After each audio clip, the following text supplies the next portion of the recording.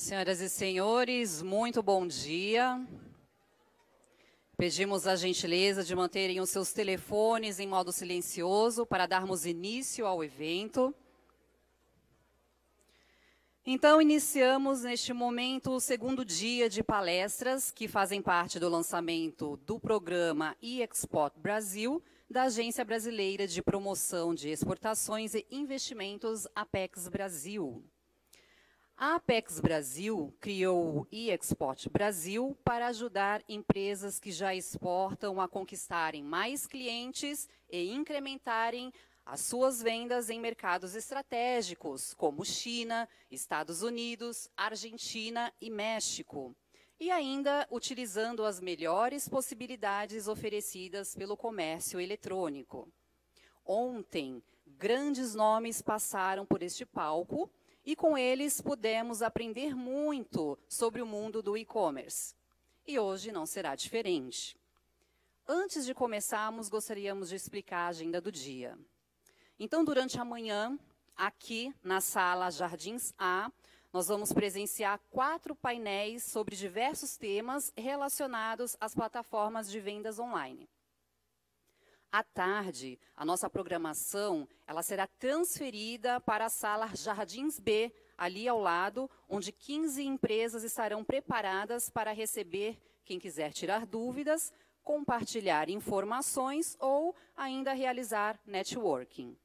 Então, as empresas são as seguintes: a Apex Brasil, os Correios, Banco do Brasil, FedEx, PayPal, UPS, Pitney Bowes, Chipsmart Tecnologia, a DigDPIC, Bonanza, Iguó, a Gilmore, Bitu Brasil, Bid Connect Americas e Sebrae.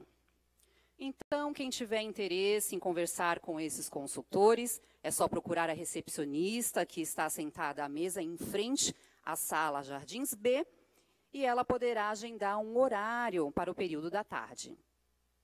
Então, vamos lá. Vamos dar início à nossa programação. Gostaríamos de chamar ao palco do eExport Brasil os participantes do nosso primeiro painel. Então, para falar sobre o Brasil e as políticas para e-commerce, convidamos ao palco Marcelo Maia, secretário de Comércio e Serviços do Ministério da Indústria, Comércio Exterior e Serviços.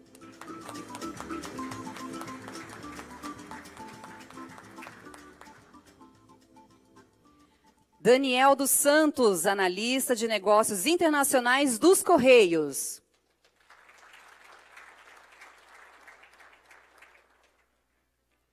Jackson Corbari, coordenador de administração aduaneira da Receita Federal.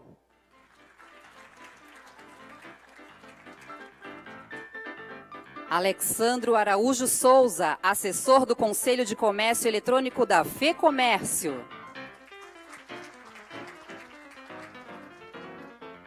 Para fazer a moderação deste painel, convido o jornalista, editor da revista Pequenas Empresas, Grandes Negócios, Fabiano Cândido.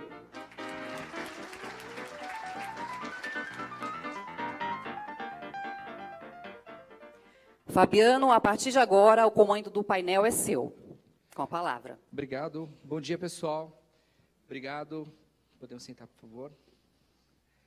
Bem, falar de e-commerce no Brasil hoje é uma necessidade, né? Todos os empreendedores que eu converso de todos os dias, os empresários, querendo vender aqui dentro, vender fora do país, é uma necessidade. E, enfim, debater o assunto, como até como política pública, é muito importante, até vendo desse lado da FEComércio também, que são as necessidades do empreendedor brasileiro. Bem, eu agradeço o Marcelo, agradeço o Daniel, Jackson e Alexandro pela presença, em nome da PEX. E, bem, a gente vai fazer uma apresentação rápida e daqui a pouco a gente vai fazer um bate-papo aqui bem bacana para discutir aí como estão os rumos do e-commerce e como o empreendedor pode vender lá fora. Marcelo, por favor, você tem 10 minutos para apresentar. A gente tem ali um... Eu, vai ter o PowerPoint agora. Eu não sei se você tem um... Oh, pode usar o púlpito aqui ao lado, isso.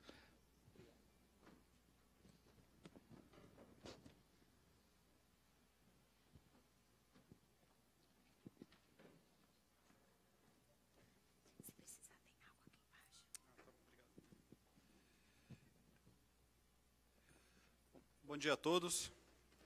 É um grande prazer estar aqui participando desse painel. Queria pra, parabenizar a Apex pela iniciativa. É, dizer que é uma alegria muito grande de estarmos juntos nessa empreitada é, tão importante para o desenvolvimento do ecossistema de comércio eletrônico nacional.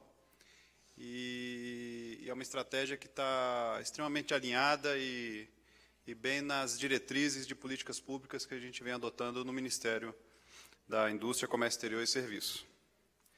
É, eu fizemos uma apresentação bastante rápida, como havia combinado, só para pontuar algumas iniciativas de que a gente tem feito na nossa secretaria.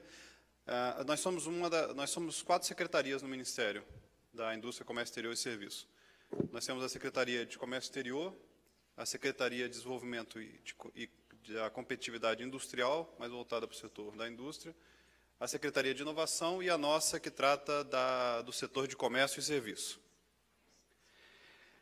É, falando um pouco do panorama do comércio eletrônico, é, que tem muitos dados, mas a apresentação depois vai ficar disponível é, para os senhores. A gente está falando aqui, então, de um, de um setor no mundo que hoje já representam vendas de 4,5 trilhões na previsão para 2021.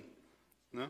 A gente fechou, é, o comércio eletrônico no mundo fech, deve fechar 2017 com 2 trilhões e 300 é, milhões de dólares e com um crescimento de 23,2% com relação ao ano de 2016. Ele representa hoje, apesar de haver uma grande variação entre os países, ele representa hoje na faixa de 10% do total de vendas do varejo mundial. É, é, um, é como a gente pode observar aqui no gráfico, é um setor que cresce a dois dígitos e esse market share dentro do, do varejo mundial deve passar de 10% para mais ou menos 16% do total das vendas do varejo no ano de 2021 atingindo então a marca de 4 trilhões e meio uh, de dólares. Um pouco da distribuição, é, de onde está localizado essa, essa venda, a gente mostrou, mostra um gráfico aqui comparando 2014 e a projeção para 2019. De fato, o que chama atenção aqui nesse gráfico é a participação da China, que hoje representa, no número de 2014, representava mais ou menos algo em torno de 35%, e as projeções são que chegue a 55% em 2019. É, nós da, da, da, Secretaria fizemos, junto com a PEX agora, inclusive, uma missão à China, muito produtiva, uma missão empresarial, é, no qual é, foi possível levarmos grandes players do varejo nacional, do comércio eletrônico nacional, para conhecer as principais iniciativas daquele mercado, é, que tem bastante peculiaridades, bastantes, bastante particularidade, como toda a China, mas é, foi algo bastante produtivo e eu acho que é nesse sentido que a gente pode, olhando o benchmark do que acontece de fato ah, no mundo real, que a gente pode trazer como experiência para as políticas públicas de governo. É, um pouco do panorama do comércio eletrônico agora no Brasil. É, alguns dados rapidamente. É o e-commerce em alta, que faturou nesse primeiro semestre de 2017 21 bilhões de reais. É, hoje, 25 milhões de consumidores já fizeram pelo menos uma compra no primeiro semestre de 2017. A gente observa preços em queda. Houve uma, uma queda de 5,38% nos últimos 12 meses. É, a, a, o volume de pedidos é, realizados no e-mail eletrônico bateu a marca de 50 milhões no primeiro semestre desse ano. Ah, a gente vê muito a inserção do mobile, o mobile tornando-se aí ah, uma ferramenta extremamente importante para os usuários de comércio eletrônico.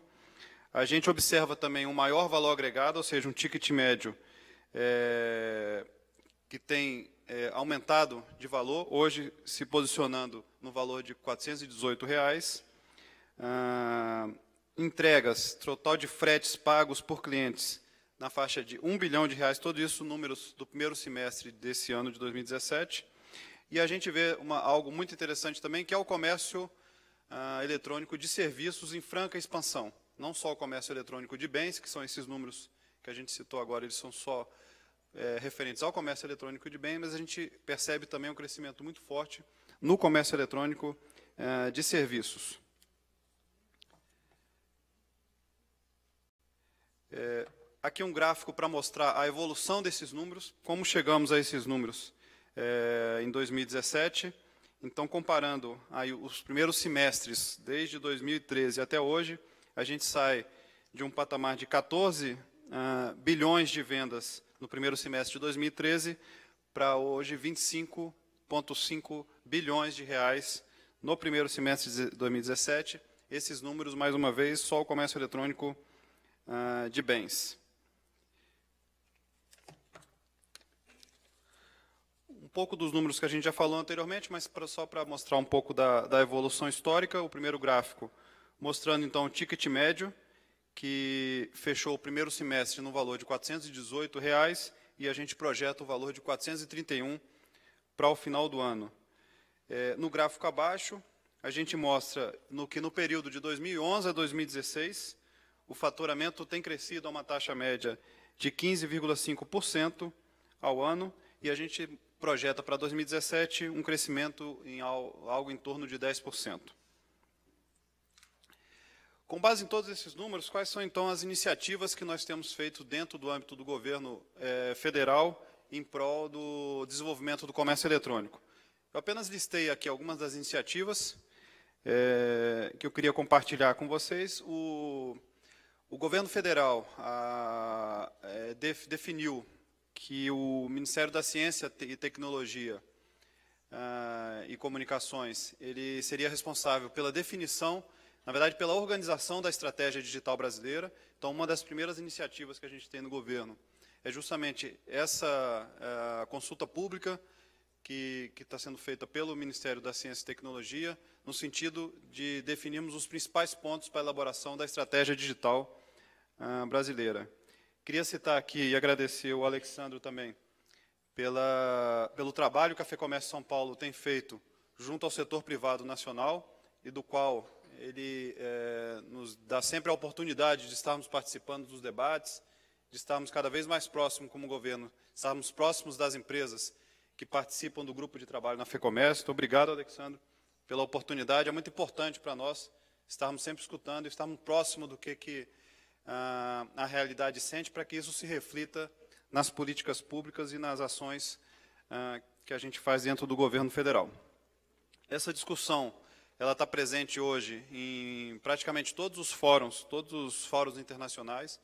A gente vê isso, eu coloquei só alguns aqui como exemplo, mas no, uh, no BRICS isso aí hoje tem sido um assunto uh, que tem tomado uma relevância muito grande. Posso dizer até que agora com a presidência da China. A China hoje é, é, é, tem a presidência ah, do BRICS. Ela coloca isso com um protagonismo muito grande. Então é muito importante esse tipo de iniciativa, esse tipo de debate, para que nos dê segurança de como nos posicionarmos ah, quando demandados em fóruns como esse. O Mercosul, da mesma forma, no, ah, no final, em, em julho desse ano, na última reunião de, de ministros que a gente teve em Mendonça, na Argentina, é, houve uma solicitação dos demais países do Mercosul para que a gente apresentasse também uma proposta de trabalho a ser desenvolvida no âmbito do Mercosul. Isso acabou culminando com a reativação de um grupo de trabalho chamado SGT13, que é um grupo que trata especificamente de comércio eletrônico. Esse tema também é tratado no G20, nas, ou seja, nas tratativas bilaterais, eu cito aqui o acordo que a gente vem discutindo hoje, Mercosul-União Europeia, no qual o capítulo de comércio eletrônico tem sido sempre, ah, tem tido um protagonismo muito grande nas discussões. E, obviamente, na OMC, a gente teve ontem aqui a, a, a palestra do, do Vitor Prado, é, estará hoje de novo conosco aqui, e ficou muito claro a importância desse tema dentro do âmbito da OMC. É, a gente, a, a CAMEX, é, nós temos a Secretaria Executiva da, da Camex dentro do nosso ministério, é um órgão que contempla, ah, é uma reunião de, de, ministros do governo federal. É, para tratar de temas afeitos a comércio exterior, nós criamos um GT de serviços para dar suporte a essas reuniões de ministros dentro do âmbito da CAMEX, e o tema comércio eletrônico eh, definimos como o primeiro tema a ser tratado dentro desse GT de serviços no qual a gente vem desenvolvendo os trabalhos. O CONEX é um, é um, é um organismo no qual a gente reúne empresários de renome e personalidades do setor privado com relevância no mercado nacional. Também houve um pleito muito é, importante, que foi a solicitação que a gente tivesse dois assentos para players de, do setor de varejo barra comércio eletrônico. Então, ou seja, a gente passa a ter representantes do setor privado dentro do conselho empresarial ah, que, que, ocorre dentro do governo. É, bom, rapidamente, o, como a gente citou, dentro do GT de serviços, é, a gente tratando de comércio eletrônico, já inicia alguns entendimentos é, com a Argentina, no sentido de facilitação do comércio cross-border entre, entre, os países através de comércio eletrônico. Ah, assinamos um memorando de entendimentos com a China no, no início desse ano. Um, na verdade, foram dois memorandos de entendimentos, um para serviços e outros para, comércio eletrônico. É, foi a partir desse memorando de entendimentos que foi possível a realização da missão anteriormente citada é, e alguns outros projetos de cooperação ah, internacional que a gente vem discutindo, um com o Reino Unido e outro com a União Europeia. E, para finalizar, um estudo com a Índia, que a gente tem feito. A gente entende a, a Índia como, a, apesar de uma visão a, não, não, obrigatoriamente muito aberta a esse tipo de assunto, mas, sob o ponto de vista de políticas públicas que ela adotou e o, o grau de desenvolvimento que ela conseguiu dar aos marketplaces localizados na Índia, é, a gente vem tentando hoje se aprofundar um pouco mais nesse sentido, para que a gente possa, então, baseado nessa iniciativa, é, talvez é, ter algumas boas, é, é, algumas boas ideias para que a gente implemente aqui dentro do país. Então, basicamente, esse era o grande é, overview que a gente queria dar do que a gente tem feito dentro do, do governo. aqui são alguns desafios que mais ou menos estão em linha do que a gente citou agora, o, o, os desafios que a gente tem dentro de governo, que é justamente esse tipo, são iniciativas como essa da Apex, são como a gente também olhar é, com bastante... Eu vou pedir para a gente fazer concluir. a próxima apresentação. Claro, Aí claro. a gente vai conversar, pessoal, a gente vai Perfeito. abordar esses temas dos desafios, que é uma das perguntas que eu vou fazer. Porque todo empreendedor tem um desafio aí claro. nesse segmento aí de comércio eletrônico. Muito obrigado Eu por sua apresentação, obrigado. Obrigado. secretário Marcelo Maia.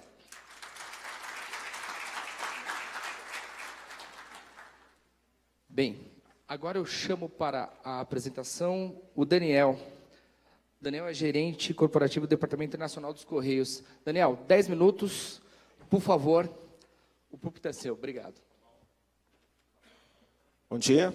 Meu nome é Daniel, então trabalho na área internacional dos Correios. É um prazer estar aqui com vocês, poder é, falar um pouco das soluções internacionais que a gente tem lá nos Correios para a exportação do Brasil.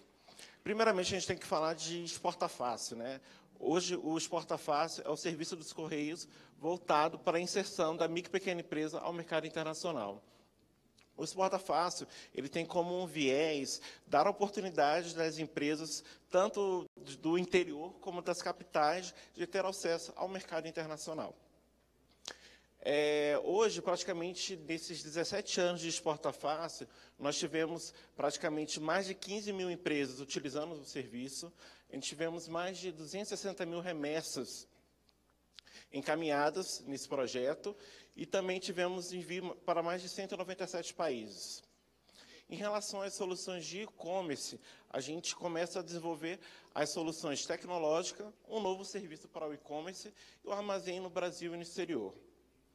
Quando a gente fala em soluções tecnológicas, os Correios estão disponibilizando ao mercado um novo web service de preços e prazos. Esse web service Ele, tem, ele é um componente e que esses sites eles podem estar utilizando na sua plataforma para simular os preços e os prazos dos serviços internacionais de exportação. E, além disso, também com o novo web service, as empresas começam a também poder utilizar da nova política comercial dos Correios. Então, a, essa nova política ela acabou é, categorizando os, os, clientes, e a partir dessa categorização, você tem uma possibilidade de ter descontos ou é, benefícios diferenciados em relação aos serviços postais.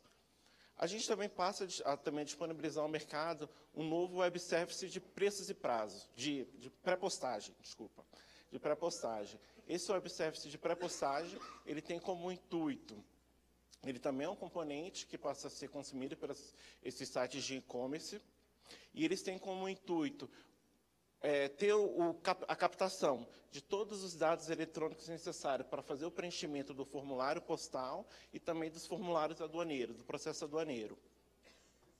E a novidade que a gente vai ter em relação a esse web service, que também de ah, no momento em que o, o, acontecer essa, essa, essa pré-postagem, também o cliente de contrato ele passa a ter o código de rastreio. Então, ele também já consegue disponibilizar para o seu cliente, no momento dessa, dessa, dessa compra nesse site de e-commerce, também o código que vai acompanhar até a entrega desse objeto no destino. Outro ponto também em relação à pré-postagem, ao serviço de pré-postagem, é a situação que a gente também passa a ter a possibilidade de ter múltiplos múltiplas pré-postagens, múltiplas postagens. Né? Então, uma situação de um, de um site ele pode ter tanto de um envio de um objeto como de mil objetos de uma única vez. E, além disso, também, com esse web service, a gente também consegue trabalhar com os marketplaces a possibilidade de fazer uma intermediação. A intermediação nada mais é que, dentro de uma plataforma, a gente ter uma possibilidade de ter preços mais baixos em relação à frete por causa do volume que se trafega dentro daquele, daquele, daquela plataforma. Outra situação que a gente tem também em relação à tecnologia é a troca eletrônica de dados. Então, praticamente hoje, 100% da carga de exportação, a gente já faz a captação do dado eletrônico. Isso é uma situação em que já vem sendo trabalhado dentro da União Postal Universal, que é a agência da ONU que trata dos assuntos postais, e da Organização Mundial das Aduanas. O objetivo dessa captação eletrônica é dar celeridade ao canal postal e também uma maior segurança. Então, com a situação da captação eletrônica do dado, a gente consegue encaminhar antecipadamente esses dados para o correio de destino desse objeto e esse correio de destino encaminha essa informação eletrônica para a aduana. Então, a gente tem um processo mais célere. Em relação ao Brasil, também a gente consegue fazer essa, esse envio para a aduana local. A, no caso aqui, a Receita Federal. Né? Com esse envio eletrônico, a Receita Federal também consegue fazer uma parametrização em relação a todos os objetos que passam por exportação, seja, ela exportação comercial ou um envio apenas de um presente. E, além disso, também, gente, com essa situação do dado eletrônico, a gente consegue também fazer uma, uma, uma conexão ao novo modelo que, está, que foi lançado esse ano em relação à nova Declaração Única de Exportação, que é a declaração prevista dentro do Portal Único do Comércio Exterior. Então, a gente começa nessa, nessa etapa a fazer uma, automa, uma automação, né? uma automatização do processo. Então, a partir dessa captação eletrônica, a gente vai conseguir fazer a recepção da nota fiscal eletrônica do cliente, fazer a declaração única de exportação, fazer o transporte aduaneiro, fazer a entrega à companhia aérea, até a finalização do processo, que vai ser essa averbação pela companhia aérea.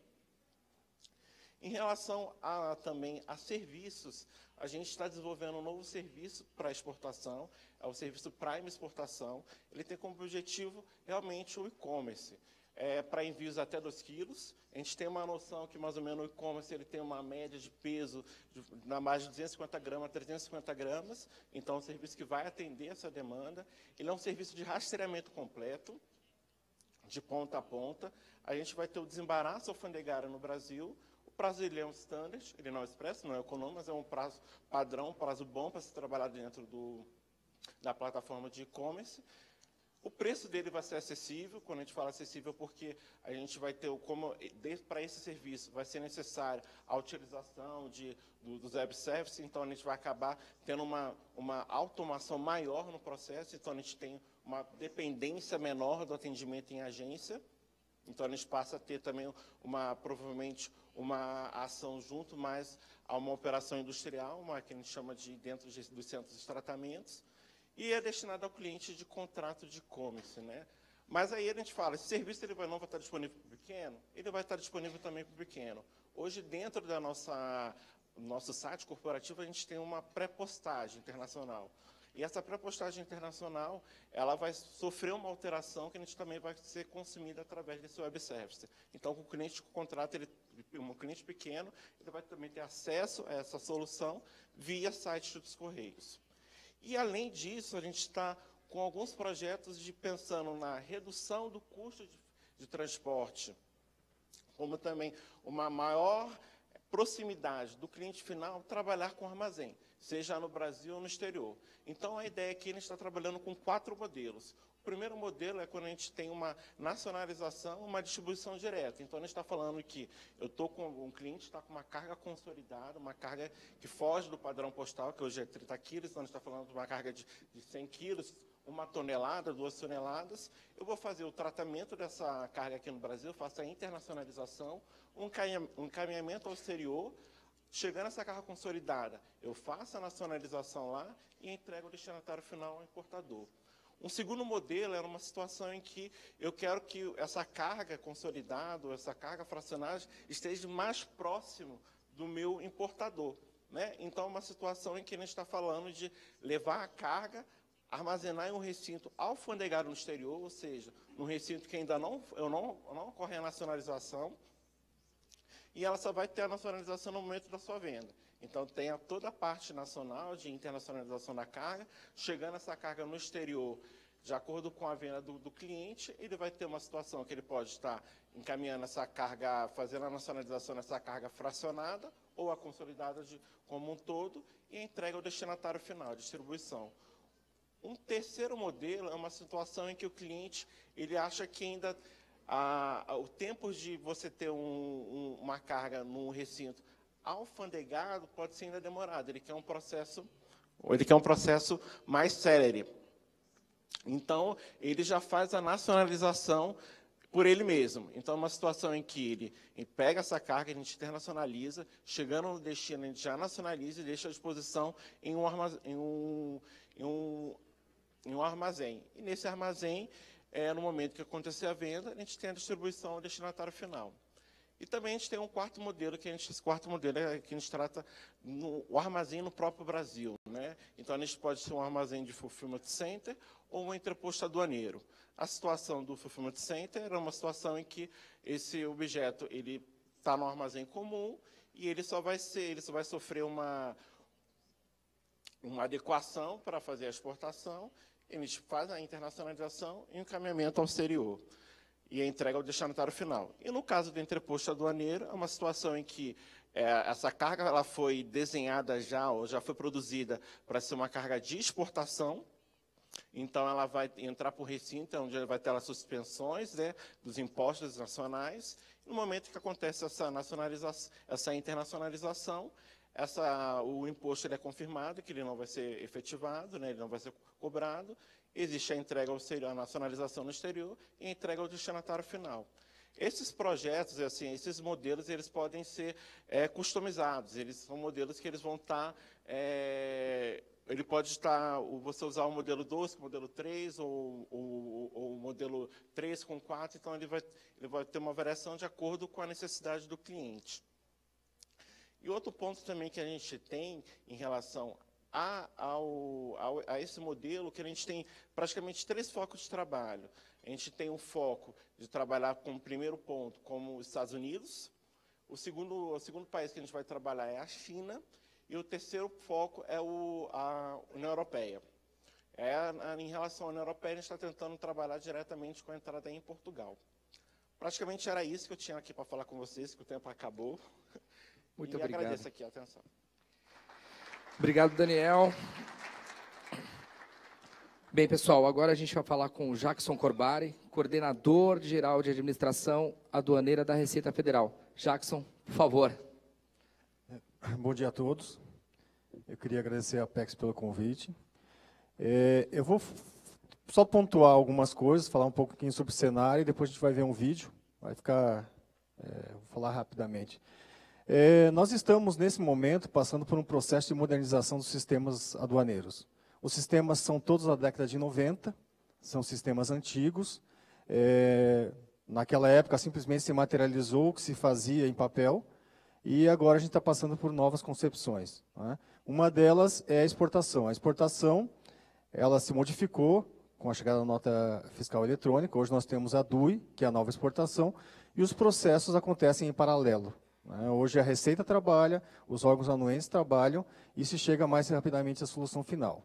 A importação até o final do ano que vem, ela também vai ter a do INPE, que é a nova importação. Então são processos já baseados em gestão de riscos, em novas uh, uh, tecnologias, justamente para que as pessoas consigam dar a informação correta no momento que elas têm informação. Hoje, por incrível que pareça, os sistemas ainda exigem informações que as pessoas não têm no momento da declaração mas isso foi uma concepção da época. Então, a, a ideia é que a coisa seja a mais fácil possível. Dentro disso, nós estamos separando também os tipos de declaração, declarações dos modais. Uma delas é a questão da, re, da remessa é, postal ou remessa de courier, né, as remessas internacionais. É, até então, você tinha um limite, você tinha um tipo de declaração específica para o modal é, postal ou, ou para o courier. Agora não, nós separamos tudo isso. Você pode hoje fazer qualquer tipo de declaração é, via postal ou via CUI. É, você pode usar a DUI, você pode usar a declaração de, de, de exportação, é, você pode usar a importação e não há mais limite de valor. Você pode usar é, esse tipo de modal para qualquer tipo de operação de comércio exterior que você queira fazer. Inclusive, admissão temporária e entrepostamento que foram os casos que o Daniel falou. Dizer, hoje a gente permite que você entreposte para esse tipo de modal. Você pode entrepostar no Brasil e ir distribuindo, ou você pode é, entrepostar na importação e ir distribuindo dentro do Brasil. Né? Não existe mais limitação. Nós descolamos os modais das declarações. E vamos descolar também de todas as outras é, é, declarações que existem ou, ou, os outros modais. É, é um processo que vai acontecer, eu creio que até o final do, do próximo ano está concluído. É, nós fizemos também uma, uma, uma, criação que chama operador logístico, devido à nova importação, exportação, desculpe. É, o operador logístico é uma empresa de courier, os Correios, ou um operador OEA, que seja transportador. É, existe uma operação nova que chama exportação por conta e ordem, né, para as pequenas e, e microempresas. Você pode fazer a sua, fazer a sua exportação mediante a entrega do produto com a nota fiscal num operador logístico. Ele faz toda a operação de entrega no exterior. Ele faz a declaração de exportação e ele sai com a mercadoria. Né? Uma exportação por conta e ordem. Você simplesmente entrega a nota fiscal. Né? E ele conclui a exportação. Isso já está em, em, vigor desde o ano passado. É a normativa 1675, 2016.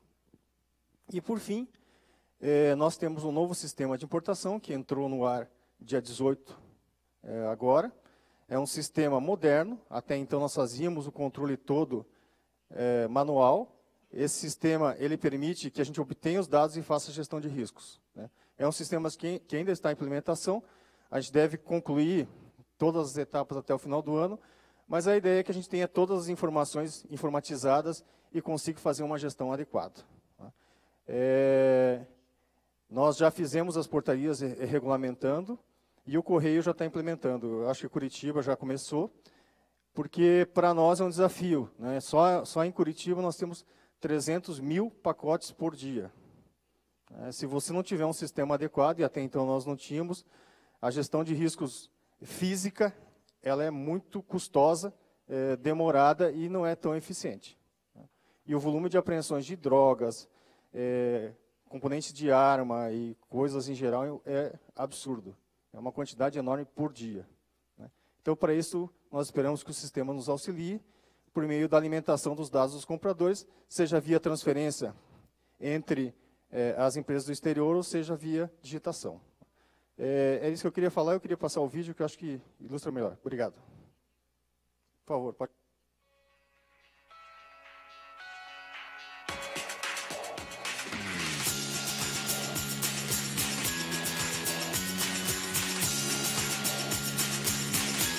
Não há dúvidas de que ele veio para ficar. O e-commerce, ou comércio eletrônico em português, ganhou adeptos em todo o mundo. No Brasil, não foi diferente. Não importa o idioma nem a distância, a internet aproximou ainda mais quem vende e quem compra. Seja pelo computador, tablet ou até pelo celular, encontrar o que procura ficou mais fácil.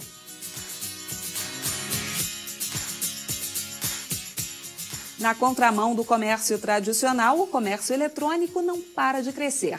Em média, 30% ao ano, afirmam os especialistas, com projeção de se expandir ainda mais. Para acompanhar toda essa evolução e garantir um serviço rápido e eficiente, é que a Receita Federal do Brasil criou o Siscomex Remessa, módulo do Sistema Integrado de Comércio Exterior, um canal eletrônico que vai simplificar e agilizar o despacho aduaneiro de remessas postais ou expressas internacionais. Nesse sistema, as quase 40 milhões de encomendas internacionais que chegam ao país por ano são declaradas de forma eletrônica pelos Correios e pelas empresas de courier. E essas informações ficam disponíveis para os órgãos governamentais de controle, como a Receita Federal do Brasil, a Anvisa e o Ministério da Agricultura. A simplificação e agilização dos trâmites aduaneiros das remessas internacionais não vem só da implantação do sistema informatizado. Novas operações e novos limites, tanto na importação quanto na exportação, passarão a ser permitidos.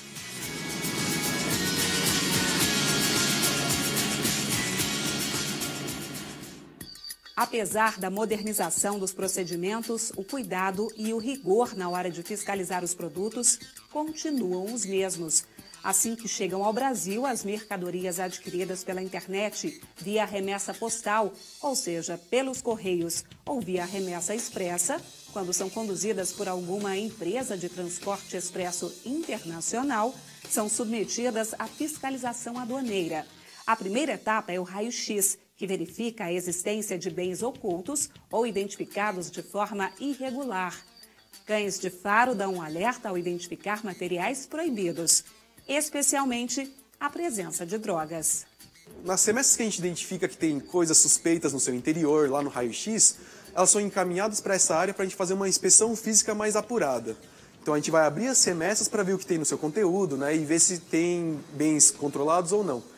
Aqui a gente tem alguns exemplos, por exemplo, de bens, produtos contrafeitos, né? A gente tem um calçado aqui da Louis Vuitton, um calçado da Gucci, aparentemente contrafeitos. A gente identificou aqui também, por exemplo, partes e peças de armas, é, simulacros de armas.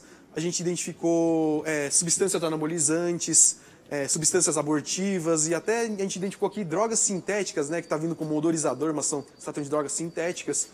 Tudo isso que vai acontecer com, com essas remessas. Elas vão ser encaminhadas aos órgãos anuentes para procedimentos de controle de cada órgão. Por exemplo, a gente encaminha para a Anvisa, para o MAPA, para o IBAMA, Polícia Federal, Comando do Exército, entre outros.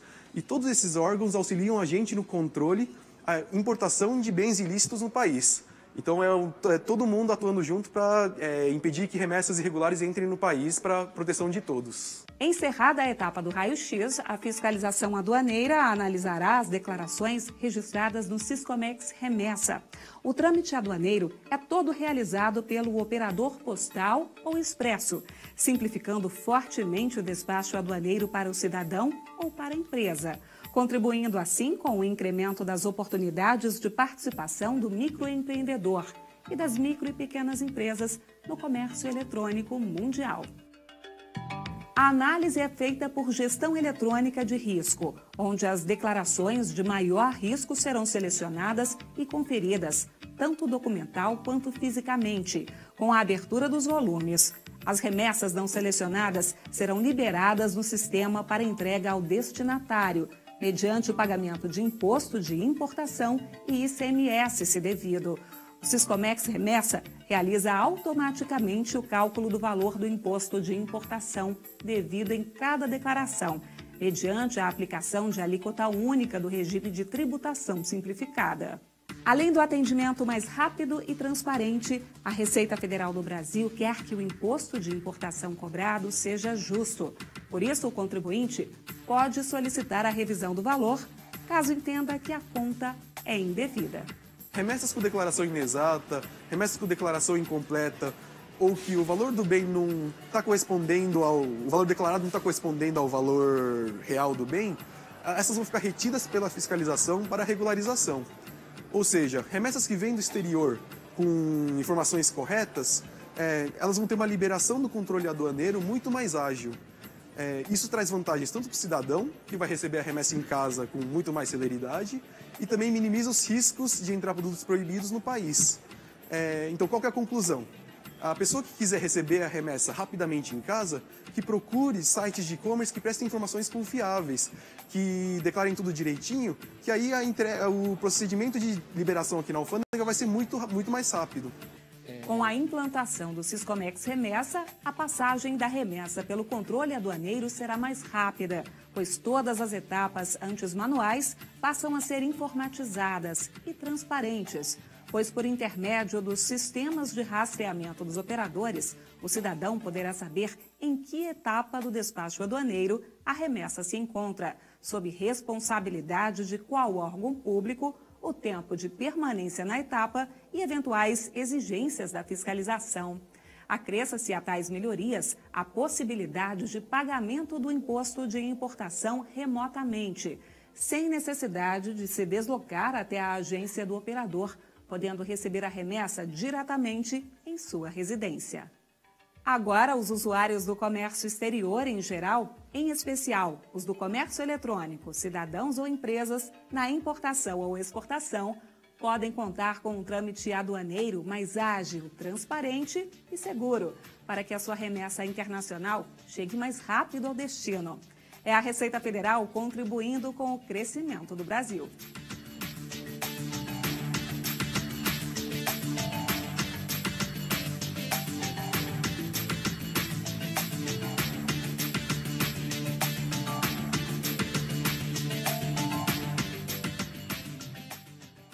Jackson, muito obrigado. Interessante ver como que funciona os bastidores aí de uma importação e uma exportação.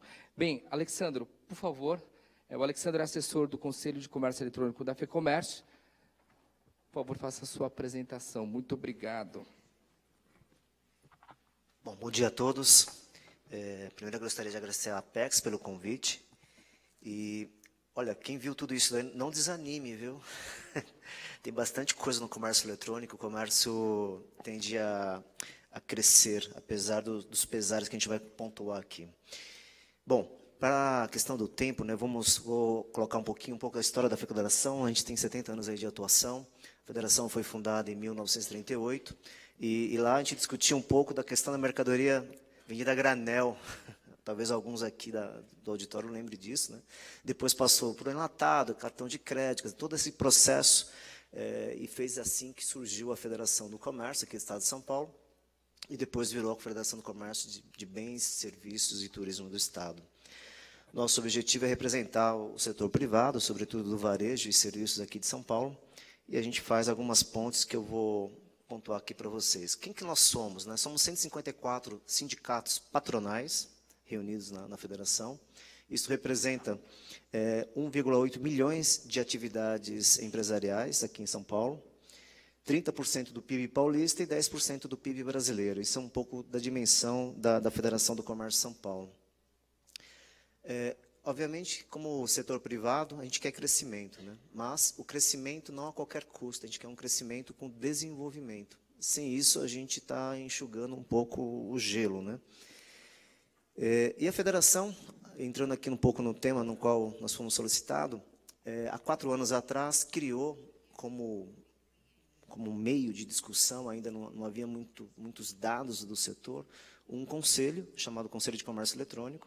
Hoje, esse conselho é, ele tende a, a atender a visão e a missão da federação e representar, sobretudo, as empresas deste híbrido, on e off, é, já não se fala mais em on versus off, né, mas on e off. A nossa presença digital ela é integrada. Né, Para quem tem filhos aí pequenos, sabe como é que a, criançada já está vindo com celulares. Né? Então, assim, a gente não pode perder isso de vista, porque essa revolução que a gente está discutindo aqui, ela vem do lado do consumidor. A tecnologia está trazendo essa responsabilidade para nós, do setor privado, e, sobretudo, para o governo, que está sentado aqui eh, na nossa, nossa mesa ao lado. Então, é, temos muita coisa para fazer nesse, nesse, nesse campo. O Conselho, a gente divide a, a atuação do Conselho em, em, três áreas. A gente fala de ambiente de negócios, ambiente legislativo e ambiente institucional. Para que vocês tenham uma ideia, a, o Conselho de Comércio Eletrônico da Federação reúne cerca de 80% do PIB do comércio eletrônico no Brasil. Nós temos as top 10, todos os varejistas online. A gente tem Amazon, a gente tem Uber, Decolar, Walmart, Magazine Luiza, Netshoes. É, todas essas empresas sentam conosco no conselho. E, e o que, que, nós fazemos lá? Esse é o ponto principal. Né? Quer dizer, é, a atividade representativa patronal, para quem está aqui na sala e é empresário, ela precisa ser vitalizada. E começa com o empresário, desde o pequeno até o gigante. Né? Se nós, empresários, não nos reunirmos nos nossos sindicatos patronais, nos nossos meios de representação, fica muito difícil fazer interlocução com o governo e pontuar as questões que a gente vai tratar aqui hoje. Bom, um grupo de trabalho que nós temos é o de prevenção a fraudes, em parceria com a ABEX. A ABEX é a Associação Brasileira de Cartões de Crédito. É, para todos que vão vender pelo comércio eletrônico, tem uma palavrinha que não podemos deixar de, de nos preocupar, que é o chargeback das operações. É, esse chargeback é responsável muitas vezes por quebrar pequenas lojas de comércio eletrônico, que é o seguinte: você vende, recebe e depois de 90 dias ou 120 dias o banco estorna esse valor da sua conta bancária. Então, essa é a fraude. Então, nós temos um grupo com 10 empresas, é, junto ao ABEX, discutindo soluções de prevenção à fraude de operações de cartão de crédito todas as operações online, a responsabilidade dessa compra não presencial é do lojista, não é do, da operadora de cartão de crédito. Isso é muito importante que vocês tenham clareza disso. Então, é importante ter controles de risco, usar plataformas é, e meios de pagamento que sejam confiáveis. É, gostaria de agradecer aqui a presença do secretário. Né? É, é muito para nós da Federação do Comércio é, é, é muito importante a, a, o papel que a Secretaria de Comércio e Serviços do, do, Ministério da Indústria e Comércio desempenha. É, uma coisa que eu posso deixar claro para vocês é que de fato nós temos lá um representante que entende a necessidade do setor privado, do varejo, do, da venda de bens e serviços e que está preocupado com todos nós aqui fazendo uma agenda é muito difícil para tra tra tramitar dentro das áreas de governo e junto com o comércio exterior. Então, nós fizemos um, recentemente o Banco Central é, entendeu que os marketplaces poderiam ser enquadrados como meios de pagamento. E tinha uma data, uma data fatídica, que era 4 de setembro, que já passou. E aí nós reunimos um pool de 12 empresas, é, inclusive empresas, uma delas nem é uma, um e-commerce propriamente dito, que é o Grupo Boticário em Curitiba, e fizemos um trabalho conjunto, um trabalho onde a gente envolveu muito a Secretaria, e graças a ela a gente quer deixar público o agradecimento à Secretaria de, de Comércio e Serviços por essa interlocução junto ao Banco Central, no qual a gente conseguiu fundamentar em um relatório bastante parrudo a, o impacto dessa medida junto ao comércio eletrônico. Simplesmente poderia tirar do ar aí cerca de 25 mil empresas só pela adoção da medida do Banco Central. E foi uma ação conjunta. A gente trabalhou em parceria com o Bacen, trabalhamos em parceria com o Instituto de Desenvolvimento do Varejo, o IDV, a Câmara e a Associação Brasileira de O2O. Um outro trabalho que a gente está em parceria também com o MIDI, que é de cross-border, é onde eu vou gastar um pouquinho meu, meus três minutos, que o Fabiano já está olhando aqui para mim assim, é, a gente montou um grupo é, onde a gente reúne varejistas, os nacionais, é, varejistas também que tem, são de, de, origem estrangeira, mas com presença no Brasil, como Walmart é, e, e, Amazon. Operadores logísticos, a gente tem grandes operadores, né, muito bons operadores logísticos aqui no Brasil, é, que atendem muito bem a nossa demanda doméstica. E também plataformas. Né? Então, para quê? Para discutir como é que a gente pode aproveitar essa oportunidade, porque antes exportar era algo da indústria, né? a indústria exportável comércio não exportava, comércio era província, né? comércio era aquela relação de confiança, relação de proximidade. E com o meio digital, o comércio exporta hoje, o comércio consegue vender e colocar seu produto em qualquer lugar. Né? Só que não é tão simples assim. É, a gente precisa, como setor privado, se unir é, mais e discutir os temas que são os entraves. Né? A gente tem uma agenda, é, vou pontuar algumas questões, e aqui eu deixo para os colegas da OMC que nos representam lá, né? já sei que teve uma apresentação ontem, hoje de novo, tem o um pessoal do SEBRAE aqui que também vai falar disso. É, a OMC é um palco importante para nós, porque as relações de comércio, por exemplo, direito do consumidor, é, mecanismo de controvérsia, quando dá pau, né? traduzindo é isso, quer dizer, o, o cliente comprou um produto de vocês, está lá, sei lá, em Hong Kong e quer devolver. Como no Brasil, temos sete dias para o cliente se arrepender de uma compra. E aí, como é que faz? Né, fazer essa logística reversa de tudo isso. Então, essa pauta do comércio digital, o papel do governo é extremamente importante, porque a gente vive num mundo globalizado, a gente quer a livre iniciativa, a gente quer a livre concorrência, mas também queremos isonomia. Não dá para competir com coisas que a gente não consegue equiparar em, tributos, nem é em competitividade do produto de preço. É, pontos como a titularidade de bens adquiridos, nós, nós adquirimos produtos no Brasil ou numa importação, a gente já paga o imposto. Substituição tributária, que virou uma, uma, uma, uma série de produtos hoje com substituição tributária, onde ao adquirir o produto já veio o imposto sem vender, sem o fator gerador é, resolvido. É, preço de transferência, né, o país, e a gente espera que o Brasil consiga esse, esse assento definitivo na OCDE, é, precisa resolver a questão de preço de transferência, né? precisa dar mais tranquilidade pra, justamente para a questão de back-office das empresas, de contabilidade das empresas, a gente está no padrão internacional. As devoluções que eu já comentei, e um estava comentando aqui com o nosso colega da Receita, quem não ouviu esse termo, peço para estudar com carinho, chamado de minimis. É, é a entrada de produtos do C to C, consumidor para consumidor. Depois que eu vi o vídeo aqui da Receita, eu quero sair aqui com a esperança renovada, viu, Jackson? De que vai ser C2C, né? não B2C. Né? Que a gente vai ter uma concorrência, nós do setor privado, de fato com empresas, e não com entrada de mercadoria no Brasil como C2C.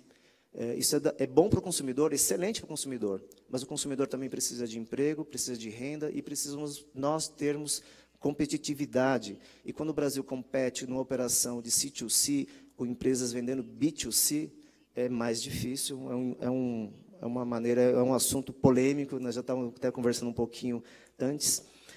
Bom, do ponto de vista legislativo, a gente atua, é, sobretudo, né, por ser federação aqui de São Paulo, na nossa Assembleia Legislativa, e também com algumas, nossa parceira, nossa Confederação Nacional, em Brasília. Vou citar dois projetos aqui que são emblemáticos. Né? A gente teve um projeto que agora ah, esperamos que ele perca aí a sua velocidade, mas havia um projeto de lei para regulamentar Black Friday no estado de São Paulo. É, é isso. A gente, dois dias antes, todas as ofertas que vocês vão fazer de Black Friday, toda aquela estratégia pensada de seis meses, tinha uma lei querendo controlar isso dois dias antes. A gente está ali brigando para que essa lei não, não, não, não prospere. É, só para vocês terem uma ideia, são 2,2 milhões de pedidos em um único dia. Imagina o que é vender e entregar isso em um único dia. A média é de 120 milhões numa sexta-feira. Nós passamos para 2,2 milhões.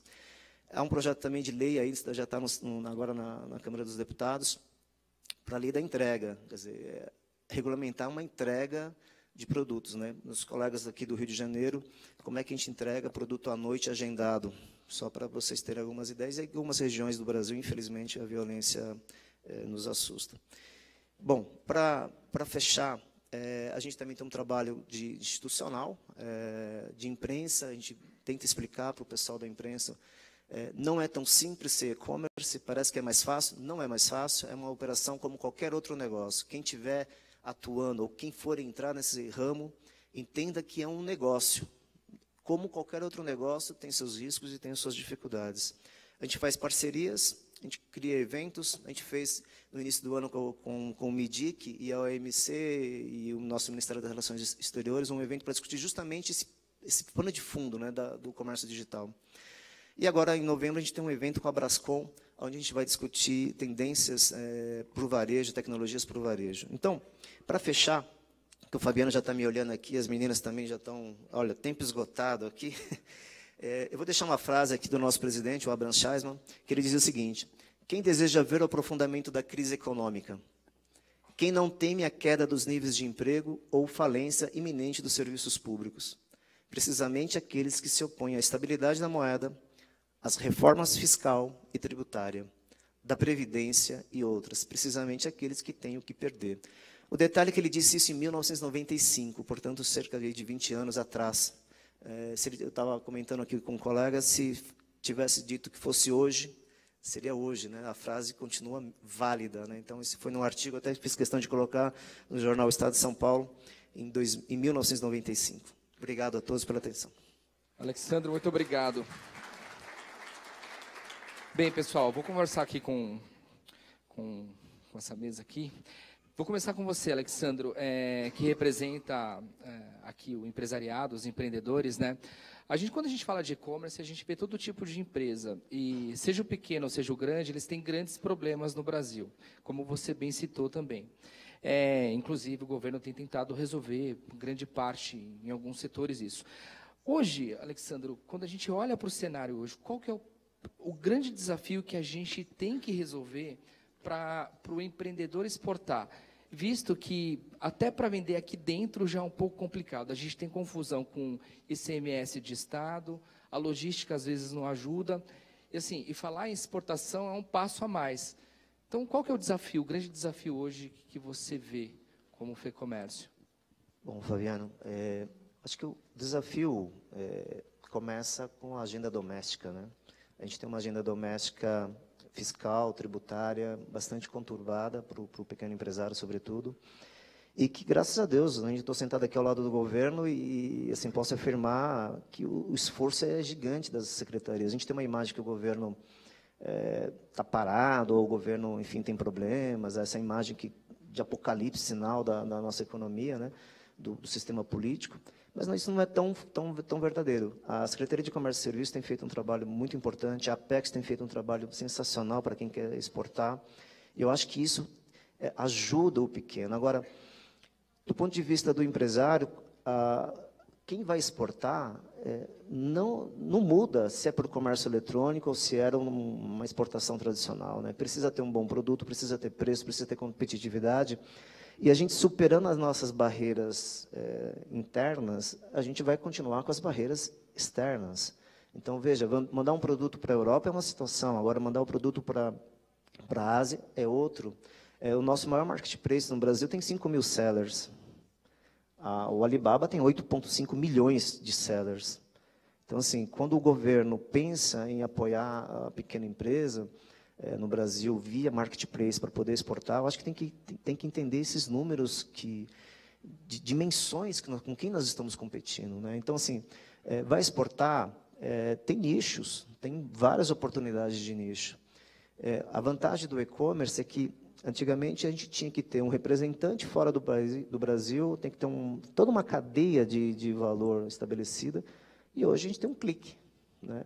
Se a nossa página, se o nosso site está posicionado dentro de uma estrutura de marketplace, é importante que vocês olhem se esse marketplace, se é o grande operador de marketplace, também está olhando o mundo. Né? Nós temos operadores de marketplaces que olham territórios. Então, isso é uma, uma dica importante de ver para onde você vai posicionar. Agora, não é o fato de colocar o produto no marketplace ou numa plataforma eletrônica e, e resolver o problema. Né? Eu acho que é importante visitar o Correios, conversar com o pessoal do Correios, entender toda essa dinâmica que o colega acabou de apresentar, parte de, do ponto de vista fiscal, receita, é tudo hoje muito mais facilitado eletronicamente. Então, isso, isso mudou bastante. Antes, quem quis, que quisesse exportar era um desafio. É, hoje é, é um desafio, mas é um desafio um pouco mais facilitado. Agora, não exclui, não muda como um negócio. É uma coisa que eu, que eu gosto de frisar bastante, que às vezes tem a impressão, ah, é mais fácil. Cuidado com quem te diz que é mais fácil. Né? Uma operação de e-commerce é uma operação física também. O que você está dando para o seu cliente é um canal diferente de acessar a você. Essa é a tendência de um omnichannel. Né? O cliente quer consumir no site, no smartphone, no tablet e na loja física. Veja a própria Amazon nos Estados Unidos. Né? A Amazon comprou uma rede de supermercados para poder vender produtos frescos. Porque o consumidor ainda vai querer essa presença, esse contato. Né? Então, assim, é, agora, aqui eu vejo, né, nossa plateia, graças a Deus, aí tá, as, as mulheres estão dominando tudo, né? A maior parte aqui é feminina, né? Agora, olha que desafio é para um, um lojista online, por exemplo, pegar o caso da Dafit, que vende bons produtos para as mulheres. Comprar sem vestir. Comprar um perfume sem sentir o aroma. Dizer, esses desafios, para quem vai vender um produto online, é, continuam, gente. Então, assim, não é porque colocou lá, vendeu. Né? É, assim, tem que entender o cliente, tem que estudar. É, a questão da língua é uma barreira nossa, né? então a gente temos que superar a questão de língua. Agora, É, o que eu posso dizer para vocês? Nós, na Federação do Comércio, montamos lá o conselho justamente para poder é, organizar essas demandas, encaminhar soluções, e aqui é, rasgo mesmo a seda para o secretário Marcelo Maia, porque tem feito um trabalho brilhante para o comércio, silencioso. Os comerciantes talvez nem tenham noção do que, que foi a medida do Bacen, que poderia tirar do ar, não sei se todos aqui têm lojas online participando de marketplace, vocês poderiam simplesmente ser desligados da noite para o dia. Quer dizer, essas são a, a importância da representação empresarial, a importância do governo entender o que, que, é o impacto de uma medida que muitas vezes não tinha interlocução com o setor privado e hoje tem. Isso é, isso é fundamental. Né? Aproveitando esse gancho, secretário, é, quando a gente olha para outros países, principalmente a China, a gente vê grandes grupos, e nos Estados Unidos também. O Alibaba, por exemplo, e os brasileiros compram bastante coisa no Alibaba na China que trazem para o Brasil. Tem até um, um, site chamado Compre na China, que é um sucesso. É, o que, que o, o Ministério tem feito para criar grandes empresas no Brasil. E eu falo isso é, não só é, dando oportunidade para o pequeno e médio se transformar também numa potência é, num futuro próximo.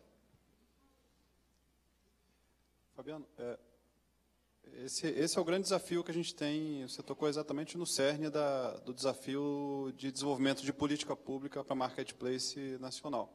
Né? É, a gente tem grandes empresas também de marketplace é, no país, né?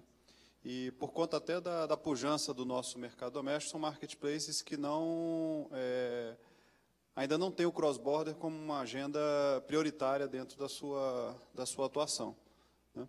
Então, o que a gente tem feito é, dentro da Secretaria e muito em, em, conectado com a FEComércio São Paulo é justamente entender é, e levar para ele, procurar antecipar esse movimento de, de comércio eletrônico internacional junto a essas empresas, mostrar para elas a importância de estarmos é, preparados para que tão logo tivermos a preparo do ponto de vista tecnológico, convergência regulatória com os outros países, a questão de meios de pagamentos transfronteiriço, a questão da, da logística, tanto direta como reversa, quando toda essa agenda de ambiente doméstico a gente tiver é, isso é, bem equacionado, é, aí a gente partiria, sim, para uma ação de política pública voltada à promoção comercial para o exterior dos marketplaces nacionais.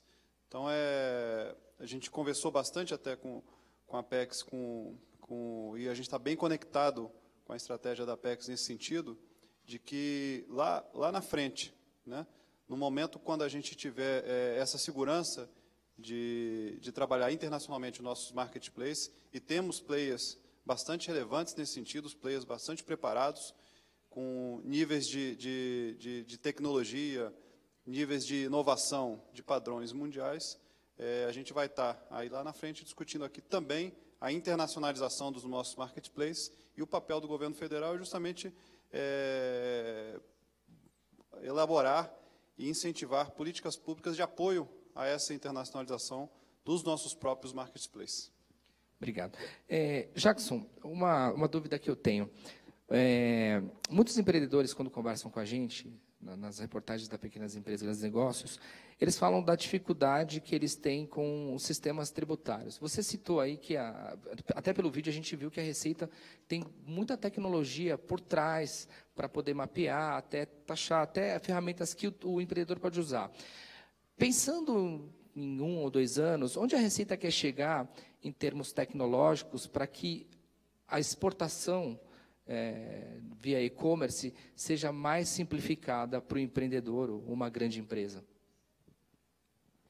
Bom, é, o que nós temos investido no, já desde o ano passado, é, com as mudanças de sistemas e procedimentos, é desvincular é, totalmente a logística do tipo de empresa e do tipo de modal.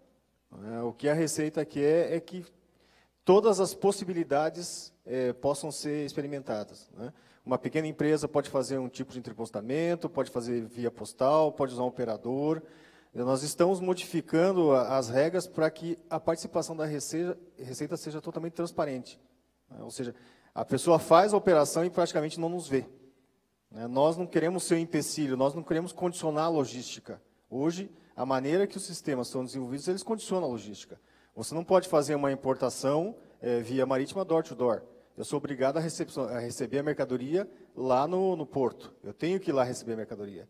Então, essas, essas regras todas estão mudando e os sistemas todos estão sendo adaptados para isso.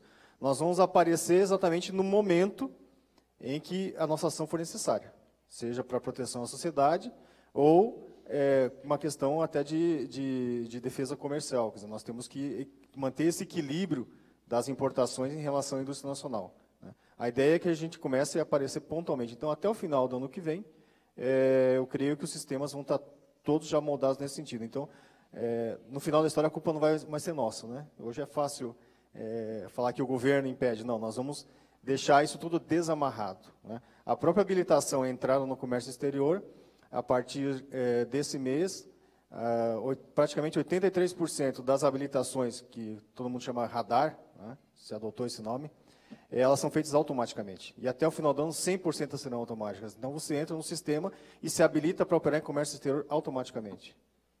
É, a, a, ideia é justamente que nós não vamos mais aparecer no processo, nós vamos ser os gestores de riscos.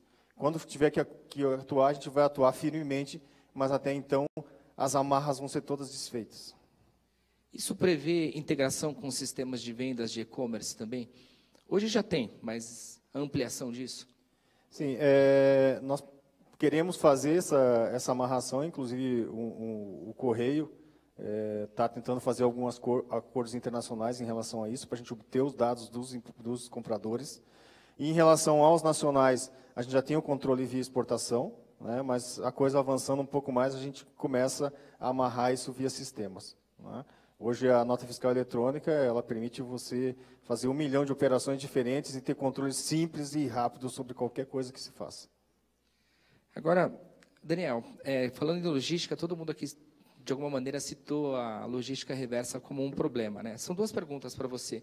Como que o correio tem se preparado para ajudar, inclusive, o empreendedor, se isso é possível pelos correios também? E como que os correios ele tem enfrentado os gargalos de logística do país? É, se a tendência do e-commerce é crescer, e como é, é 30% ao ano foi citado por alguém em alguma apresentação, é, a gente vê que vai aumentar o, o trabalho para os correios. Como que fica isso? Como que é esse planejamento, tanto tecnológico, de processos e pessoas? Então, vamos lá. Em relação à logística reversa na área internacional, ela é um, bem complexa, né? Porque a gente tem uma situação em que essa carga ela já foi ela ou foi internacionalizada, já foi nacionalizada, e a, o, o, custo que se tem em relação a retornar essa carga é muito alto, porque provavelmente se ela já foi internacionalizada, eu vou ter uma nacionalização dessa carga novamente, então tem algumas cobranças de tributo em cima disso, então isso se torna muito caro. Então, quando a gente fala de e-commerce internacional, hoje, a gente tem que ter a noção que a carga que foi exportada, a tendência é que ela não tenha retorno dessa, desse objeto. Né? Que ele, ou ele faça uma situação de uma venda é, lá para um outro, para outro cliente, ou ele faz o próprio descarte né? desse, desse objeto lá. Em relação, Oi. O microfone. Ah, tá. em relação a o que, que a gente está se preparando tecnologicamente. Né? Então, a gente tem desenvolvendo toda a nossa parte de captação do dado eletrônico, justamente para a gente ter uma situação de celeridade no, no processamento dessa carga, tanto de exportação como também da importação, como até o Jackson comentou. Então, a gente está fazendo parcerias com os correios de, de origem dessa carga, como também com, com, grandes consolidadores de carga, para que no encaminhamento dessa carga ela venha com esse dado eletrônico, para a partir daí a gente conseguir ter uma celeridade aqui no país. A gente tem desenvolvido também nossos sistemas de postagem. Esses sistemas de postagem, ele tem como um viés de ser também um indutor, um facilitador para esse exportador, para ter o conhecimento do comércio exterior. Então, dentro desse sistema de postagem, a gente tem mais de 150 regras, que a gente faz validações, que justamente são regras de comércio exterior e regras postais, que gente, no final, a gente está fazendo um envio de uma exportação por um modal, que é o postal, que possui suas regras, que a gente tem que acabar cumprindo.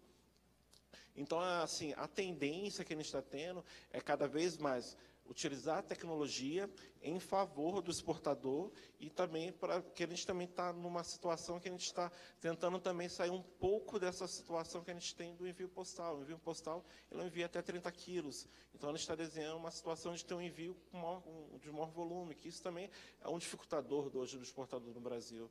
Então, assim, para ele fazer um envio de uma tonelada, ele teria que fracionar essa carga em vários pequenos pacotes via postal. Então, a gente está desenhando esse serviço, provavelmente olhando esse lado da armazenagem, é de ter a carga consolidada, né, para a gente ter uma diminuição no frete. Que hoje é, principalmente, acho que o principal gargalo que a gente tem é o custo do frete né, internacional. Porque no custo do frete internacional, a gente está falando de um custo que a gente está fazendo, fazendo pagamento em toda em moeda estrangeira, tanto para a companhia aérea como para quem for distribuidor lá no destino. Então, existe, sim, uma, uma situação que a gente está tentando ter um redesenho do Exporta Fácil para a gente ter uma possibilidade de ter uma, uma forma de ter a, a possibilidade desse exportador ter um custo menor no frete, com isso ele também conseguir adquirir novos mercados. E, e olhando para o crescimento, como que o Correio tem se preparado, digo, como instituição, porque é, o, correio é parte, os correios são parte importante desse processo de entrega. A gente vê prevê crescimento tanto no mercado interno como no externo. E a gente vê que, principalmente em épocas é, de Natal e Dia das Crianças, a gente enfrenta problemas. E se a gente prevê, faz um planejamento para o futuro, o correio também, os correios também têm feito isso, porque a gente vê notícias desse lado que os Correios passam por uma grave crise. E como que tem feito isso para ser amenizado? Então, olha só, tudo quando a gente tem essas, esses grandes eventos, como Black Friday, o próprio a situação de final de ano, né, que é Natal, existe sempre uma operação específica para a gente minimizar o, a situação de possíveis atrasos que podem vir a ocorrer pela quantidade de carga que é, existe nesses períodos. Então, existe uma operação específica para evitar ter esse tipo de situação. E olhando também para esse, essa situação, a gente tem desde 2011 a empresa ela vem também trocando sua mecanização. Então, está cada vez mais mecanizando os centros de tratamento de encomenda para também ter uma agilidade nesse processamento. Lógico que a gente tem uma situação que a gente tem um mercado que nem um, uma, uma quantidade de importação que a gente tem hoje, que vem principalmente da China, que a gente chega a ter 300 mil no centro. Então, assim, esse tipo de serviço, ele vem um serviço, um serviço mais barato, então, é um serviço que ele tem uma, uma velocidade tão menor. Então, muitas vezes a gente acha que a, o, a entrega está demorada, essa demora de entrega é devido à operação da empresa? Não. É o serviço contratado. É um serviço não prioritário. Então, o serviço não prioritário, ele não tem essa agilidade esperada. Muitas vezes a gente acaba comprando um serviço simples, querendo um serviço expresso. Então, assim, isso vai depender muito do tipo de serviço que o cliente contrata. Então, no momento que ele contrata um serviço expresso, ele vai ter uma entrega, uma entrega expressa. Se ele entrar contrato serviço econômico, ele tem uma entrega menos, assim, menos dinâmica, então ela tem uma, uma demora bem que, que é bem perceptível. Então, a gente tem que ter só esse cuidado quando a gente faz essas comparações. Às vezes, o atraso não é decorrente da operação, mas sim do serviço contratado. Ok. Secretário, agora para a gente finalizar, é, o Brasil tem 1% é, desse mercado. Nos planos do governo, do Ministério, onde vamos chegar em determinado, em dois ou três anos? Onde a gente quer chegar nessa participação mundial? Você fala em, em market share mundial? Exatamente. Olha, eu não tenho um número específico para te falar, Fabiano. A gente não tem essa, essa, essa projeção para. É, Mas assim, a previsão, o plano. O, o, que a gente tem feito, na verdade, do seu ponto de vista de, é, de governo, porque não é a, a promoção comercial é, internacional, ela ainda não é, vamos dizer assim, a gente não está nesse estágio de fazer um planejamento nesse sentido ainda. Né? O que a gente identifica como governo é que existe essa agenda doméstica muito forte a ser, a ser trabalhada. É, a gente precisa, como governo, é, trabalhar políticas públicas de, de incentivo, de fomento para o desenvolvimento do nosso ecossistema, para aí sim a gente ter uma, uma participação relevante internacionalmente. Né? É, esse motivo pelo qual a gente não tem um número é, projetado de, de participação mundial para a gente fazer. O que a gente tem são os números uh, que a gente entende que o mercado vai, vai estar atingido, né? mas não como uma meta de governo para ser, para ser atingida. Nossa grande prioridade hoje é a agenda doméstica, ela é fundamental que a gente, de fato, é, tenha isso como uma atividade essencial é, dentro do governo, em todas as suas esferas, seja ela a esfera tributária, de infraestrutura, é, todo esse custo que a gente é, enxerga, que a gente que tira a competitividade da empresa nacional vis-à-vis -vis os seus as suas contrapartes internacionais, essa é a nossa grande agenda hoje, para que aí sim a gente possa pensar é, em definir um planejamento de maior, de médio e longo prazo de inserção brasileira no mercado internacional de comércio eletrônico. Bem, estouramos nosso tempo. Eu queria agradecer ao secretário, muito obrigado pela presença, Daniel, Jackson, Alexandro. Muito obrigado aí pelo bate-papo. Obrigado também ao público.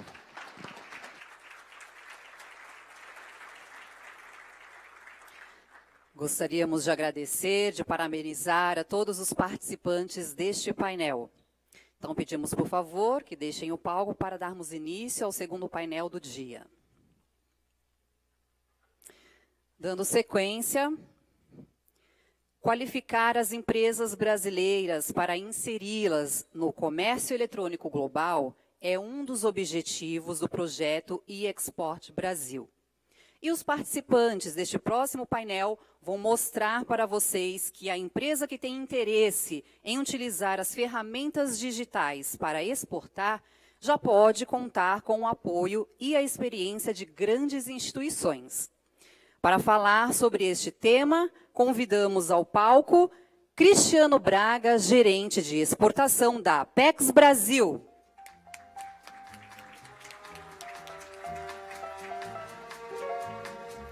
Heraldo dos Santos, da Unidade de Acesso a Mercados do SEBRAE.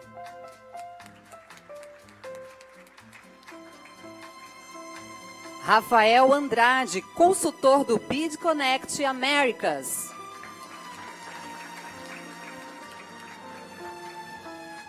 E Paulo Guimarães, gerente de soluções empresariais do Banco do Brasil.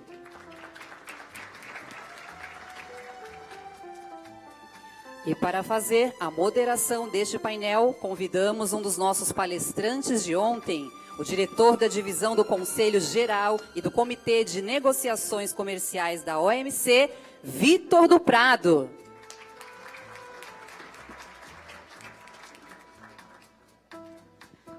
Vitor, a partir de agora, o comando do painel é com você. Muito obrigado, uh, Luciana. Bom dia a todos. Bem-vindos. Uh, duas observações só para começar. É, ontem eu estava aqui e a maioria dos panelistas não tinha gravata. Pessoal mais, é, mais, mais à vontade, pessoal do, do business mesmo. Hoje está todo mundo de gravata aqui, está todo mundo sério. Entrou, entrou a parte, o pessoal chapa branca. É, segunda observação, e é, agradecer o pessoal da PEX mais uma vez pelo, pelo convite. É, Lá em Genebra, a gente faz um esforço muito grande, e eu vejo aqui, eh, como o Alexandro falou hoje, agora há pouco, tantas mulheres na sala, para pelo menos ter uma mulher em cada painel. Vamos fazer esse esforço aí no futuro, pessoal.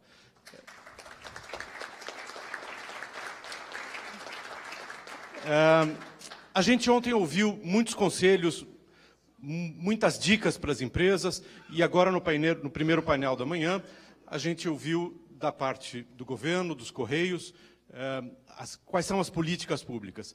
Este painel, eh, teoricamente, e eu espero na prática, vai discutir quais incentivos, como é que a gente ajuda as empresas a superar eh, as barreiras para realmente passar do mercado interno para o mercado uh, internacional. Como é que há incentivos para fazer isso? Muita gente não conhece esses incentivos e eu acho que aqui a gente tem um pequeno, uma pequena amostra uh, dos, uh, dos, incentivos que existem nessas, nessas instituições para que as empresas possam aceder ao mercado internacional. Nós não temos muito tempo, Uh, eu vou pedir para cada um dos, uh, dos, participantes falar em torno de 5, 6 minutos uh, e, e, em seguida, vamos ver se ainda a gente tem tempo para alguma pergunta. Vamos lá. Paulo, por favor. Quem é que começa? É o Cristiano que vai começar? Cristiano, por favor. Bom dia a todas e a todos. É, Vitor deu a deixa, antes de entrar no, no, no, no objetivo da fala, é, a gente tem um painel de mulheres aqui no final da manhã, porque a Apex tem um cuidado com essa dimensão do gênero. É uma, é uma proposta liderada pela minha colega Adriana Rodrigues, que vai moderar o painel e um pouco como é que insere essa dimensão do gênero no comércio eletrônico. E isso é uma preocupação constante da Apex. Então, eu queria deixar registrado isso. Bom, é, bom dia a todos e a todas. Eu, eu acho que ontem, ontem a gente teve é, um momento é, bastante interessante. É, esse evento é, promovido pela Apex e os parceiros, é, deixa muito mais perguntas do que respostas, e isso é muito importante para a gente. Quando a gente pensou em construir essa estratégia de e-commerce, é, desde o primeiro momento, a gente sabia é, que a Apex sozinha não, não daria e nem dará conta do desafio e do tamanho de desafio que temos. Então, desde já, a, dire, a diretriz fundamental é engajamento dos parceiros, tanto da iniciativa privada quanto é, dos parceiros públicos. A Apex é uma agência com espectro amplo de atuação. A gente atua hoje com 70 segmentos da economia, desde produtos de qualificação até ações de promoção é, setorial estrito senso. E a gente sabe que os problemas da exportação começam na produção. Né? Atrás da promoção que está na ponta do processo, você tem aí um conjunto de dimensões que, se você não consegue agregar parceiros em torno disso, é, a gente não consegue ter um resultado eficiente na inserção competitiva do Brasil, das suas empresas no cenário internacional. Então, desde já, os parceiros que estão aqui na mesa, tanto o Banco do Brasil, o BID, o SEBRAE e todos os outros que nesses dois dias de eventos estiveram aqui, são parte desse desafio que a gente começa a partir de hoje. Né? Então, o que, que a gente imagina a partir de agora é, para o programa e-export. Né? Em primeiro lugar, é, a gente vai dar continuidade ao processo de mobilização. Esse evento de dois dias, ele tem sim um caráter mobilizador, mas também tem um caráter de qualificação né, onde a gente engajou um conjunto de parceiros. No primeiro dia, os parceiros mais da iniciativa privada. A gente tentou dar um overview dos problemas, dos desafios, do tamanho é, do comércio cross-border no mundo. É, trouxemos todos os parceiros que engajamos. É, ontem, quem, teve, quem estava aqui viu, a gente trouxe os maiores marketplaces é, mundiais para cá. É, a gente teve o cuidado, é, na construção desse programa, de fazer um trabalho prévio de inteligência. A gente tem um estudo que é, a gente vai divulgar no, no, no hot site do programa, que é esse panorama do comércio eletrônico internacional. Esse estudo foi quem embasou a escolha dos mercados-alvos e dos segmentos que a gente vai trabalhar nos próximos meses. Então, a ideia como, como já foi dito aqui, né, a gente começa pela América, América Latina, é, mas também China e Estados Unidos. É, Para isso, a gente hoje já mapeou, junto com os parceiros, um conjunto de oportunidades e de segmentos que a gente vai buscar trabalhar e mobilizar nos próximos meses. A ideia é que, com os parceiros que a gente vem engajando, é, a gente faça um conjunto de roadshows pelo Brasil. Vamos fazer aqui na região Sudeste, é, na região Centro-Oeste, Norte, Nordeste e Sul do Brasil. Então, a gente acredita que esse trabalho de mobilização deva durar aí, de mobilização e mapeamento da oferta exportável, cerca de dois a três meses. No segundo momento, a gente, é, ao identificar essas empresas, ao mapear essas ofertas dos setores é, que que identificamos como oportunidades, a gente vai fazer um trabalho de aproximação dessas empresas com os marketplaces com as quais a Apex vem fazendo os MOUs e, e construindo é, as parcerias. E a terceira etapa do do, do projeto, é, que é a etapa, digamos, é, mais importante, que é quando, é, escolhidas empresas, definidos os setores, é, feitos MOUs e os, os, acordos de cooperação entre os diversos parceiros, que vão desde o Google até os marketplaces que estavam aqui ontem, a gente pretende desenvolver um trabalho de consultoria direcionado a cada empresa identificada e escolhida, que, onde a gente vai desenvolver com a empresa a estratégia de expansão digital. Né? Para isso, a gente conta tanto com os parceiros de governo, é, quanto os parceiros privados, é, a nossa força de trabalho hoje é, lá fora é, se ampliou bastante, porque a Apex hoje tem uma parceria direta com o Ministério das Relações Exteriores, então a gente tem hoje cento, cento e poucos postos é, é, lá fora que identificam as oportunidades para as empresas que, que, trabalhamos. Então, hoje a gente tem a possibilidade, junto com os escritórios e os postos do Itamaraty, é, criar um acesso é, maior das empresas com as oportunidades geradas no, é, nos mercados externos. E a ideia é na, de, de, próxima etapa é iniciar fortemente esse trabalho de mobilização e mapeamento da oferta exportável. É, todos aqui, a gente criou um hot site, ontem a gente abriu e mostrou. Lá é o depositário de todas as informações do programa, de todos os estudos de inteligência que a gente vem trabalhando. A gente vem trabalhando, por exemplo, uma parceria com o SEBRAE na criação de um guia é, de como fazer exportação e-commerce, e aí com foco na micro pequena empresa. É, a gente vem fa fazendo uma parceria forte com o BID, o Banco do Brasil também a gente vem conversando, Correios, etc. Então, esse hot site é o depositário inicial de todas as informações com relação às próximas etapas do programa. Todos os empresários que tiveram aqui ontem vão receber um e-mail de agradecimento com um pré-cadastro, que vão se pré-cadastrar como interesse nessa, é, nessa, nessa iniciativa e Paralelo a isso, a gente vai continuar todo o trabalho de mobilização é, regional para mapeamento da oferta dos setores que inicialmente a gente identificou. Né? Claro que é, esses setores são bem flexíveis. No primeiro momento, a gente tem olhado muito o segmento da moda, é, tem olhado muito o segmento de cosméticos e cuidados especiais, e cuida, cuidados pessoais, segmento de alimentos e bebidas, que são segmentos que a Apex já trabalha é, tradicionalmente. Né? E também o segmento de serviços, estrito senso. É, e um outro ponto, para não, é, não deixar de, de, considerar, a gente vem conversando é, bastante próximo com o Ministério do Desenvolvimento, Indústria e Comércio, secretário Marcelo está aqui.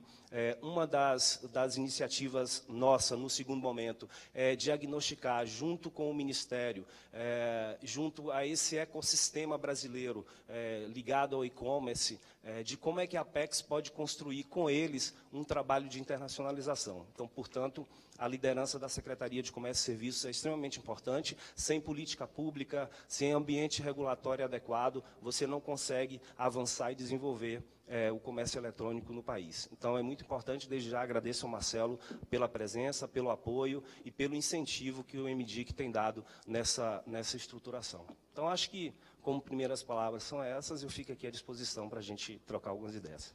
Muito obrigado, Cristiano. Interessante ver coisas muito concretas, iniciativas eh, práticas ah, para que as empresas possam aceder ao ah, mercado exterior.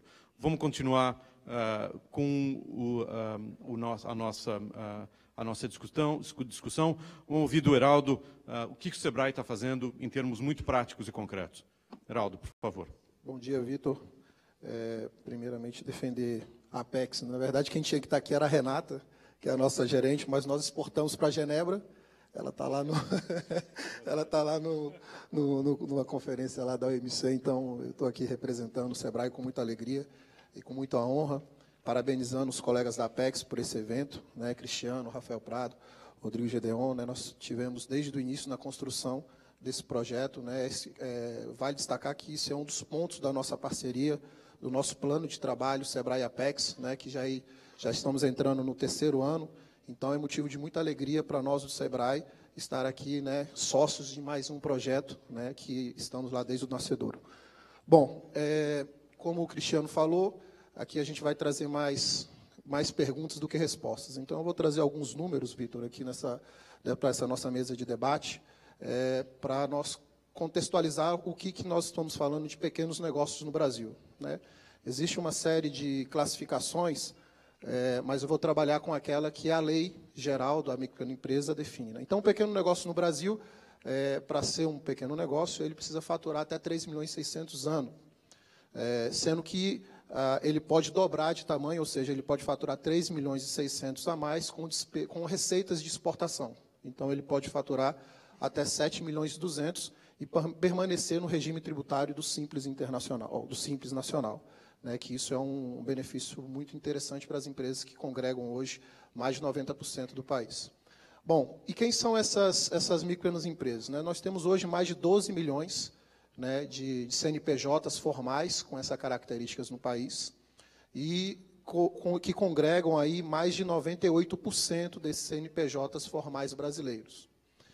Quando a gente faz um recorte para exportação, e aí aqui eu vou me deter a números de exportações de bens, porque nós ainda não temos é, uma, uma, uma, captura do, das exportações de serviços. A gente tem conversado lá com Marcelo, lá no MDIC, da Secretaria de Comércio e Serviço, e com a equipe dele, para ver se a gente consegue também fazer esse monitoramento, mas eu vou me concentrar aqui basicamente nos números de bens. Né?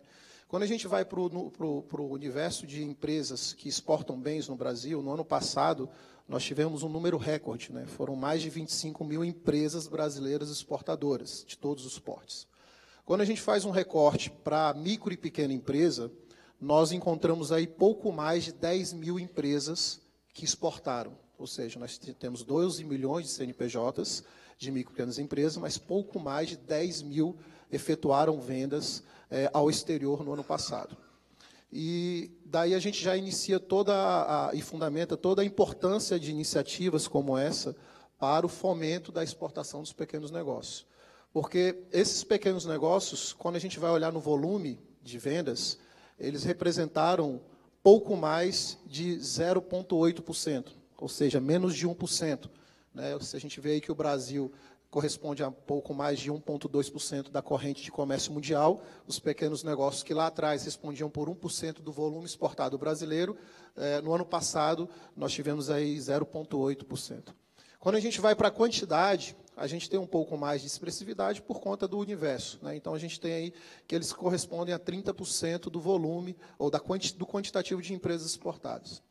Mas quando a gente olha um, pelo lado do ticket médio, né, exportado por cada empresa, nós temos um número ainda bastante desafiador também, que é algo em torno de 600 mil reais. Então, iniciativas como essa, né, de, de, utilizar o canal do comércio, tele, comércio eletrônico como exportação, é fundamental, principalmente para essas empresas que estão no mercado. Né, porque o fato delas estarem exportando não significa que elas não tenham desafios, como foram colocados aqui pelo Cristiano, que o programa vai abordar, e também é uma outra oportunidade de levar mais mercados para elas. Porque, como eu falei, é, se elas exportam 600 mil, elas ainda têm um campo de 3 milhões de reais para crescer e permanecerem com os benefícios do Simples. Então, é uma oportunidade e o programa e Export, ele com certeza vai contribuir com essas empresas, principalmente as que já exportam, para o incremento do mercado. Bom, é, passando por, por, essa parte de contexto e, e de números, né, o que, que o, o, o, SEBRAE ele pode contribuir para os senhores e senhoras que querem colocar o seu produto lá fora. Nós temos algumas soluções online, né, que são é, três cursos online que orientam no, no processo de, de, exportação, condições de venda no mercado externo e procedimentos para exportação. São cursos que variam de 15 a, a 20 horas, né, estão todos disponíveis no nosso portal, sebrae.com.br. Também nós temos é, quizzes e e-books sobre exportação. Né? O, o, o, Cristiano comentou que a gente está na elaboração desse documento. Estava até brincando com o Gedeon, né? cartilha da nossa época. Né? O nosso hoje é e-book. Né? Então, é, então, mas a gente está nesse desenvolvimento desse conteúdo para auxiliar os senhores e senhoras que, que, que, desejam colocar seu produto pelo comércio eletrônico. Além disso, nós temos um produto que se chama Sebrae Tech, que ele também é, auxilia na construção da estratégia da, da, da inserção no mercado digital. Né? Então, a gente conta com esse produto aí que pode subsidiar até 70% desse projeto. Né? O que, que é um projeto? Né? A criação de um, de um site, criação de, de algum tipo de, de, estratégia de comunicação no, no, na internet. E no que diz respeito à internet, só para finalizar, Vitor, mais alguns números. Né? A gente é, fez uma pesquisa também lá no Sebrae que 94% desse universo de 12 milhões de empresas tem acesso à internet.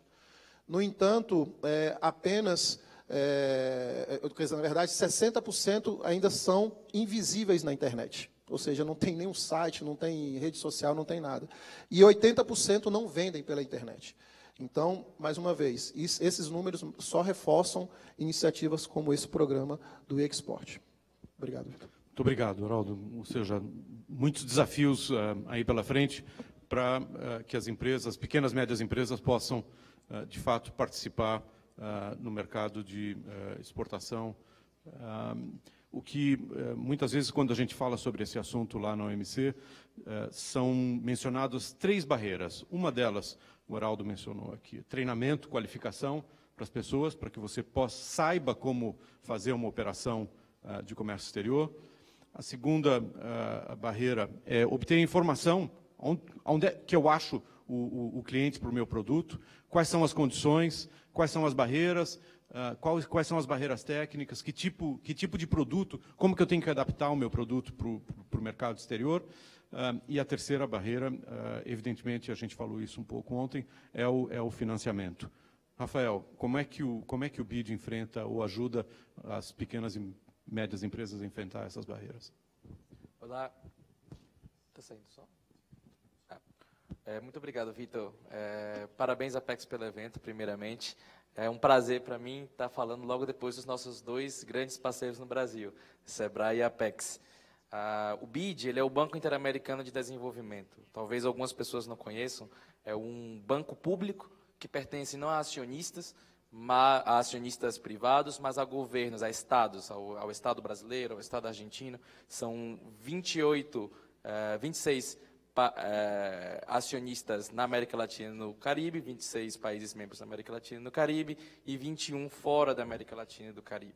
E nós, é, em 2014, criamos uma plataforma chamada Connect Américas. Ela não é um marketplace propriamente dito, ela é também um marketplace, ela é uma rede social empresarial, como a gente costuma chamar. A Connect Américas, ela surge da, de um estudo do BID que identificou três barreiras ao comércio internacional para a pequena e média empresa. A gente identificou que as empresas, quando querem exportar, elas esbarram justamente em falta de clientes no exterior, falta de financiamento e falta de capacitação. Então, decidimos criar uma plataforma para dar às pequenas e médias empresas essas ferramentas para superarem as três barreiras ao comércio exterior. Mas por que, que o BID, o Banco Interamericano de Desenvolvimento, se envolve nisso? Isso é muito importante porque quando a gente olha o panorama da América Latina e do Caribe, a gente vê que 99% das nossas empresas são pequenas e médias. Depois, a gente vê que essas pequenas e médias, elas geram 67% dos empregos formais na nossa região. Então, se a gente não faz alguma coisa para elas, a gente realmente não está desenvolvendo a nossa região e não está cumprindo com a missão do banco. Por isso, é, começamos 10 anos atrás, na verdade, a fazer algumas rodadas de negócio. Essas rodadas de negócios setoriais presenciais, a cada dólar que a gente colocava nelas, a gente tinha 80 dólares em retorno na economia da região. Então, como, como ampliar essa iniciativa de rodada, que é muito pontual, acontece uma vez por ano, três vezes por ano, para que seja algo ongoing, para que seja algo que esteja disponível para vocês que estão aqui sentados nessa sala. Então, a gente cria uma rede social empresarial.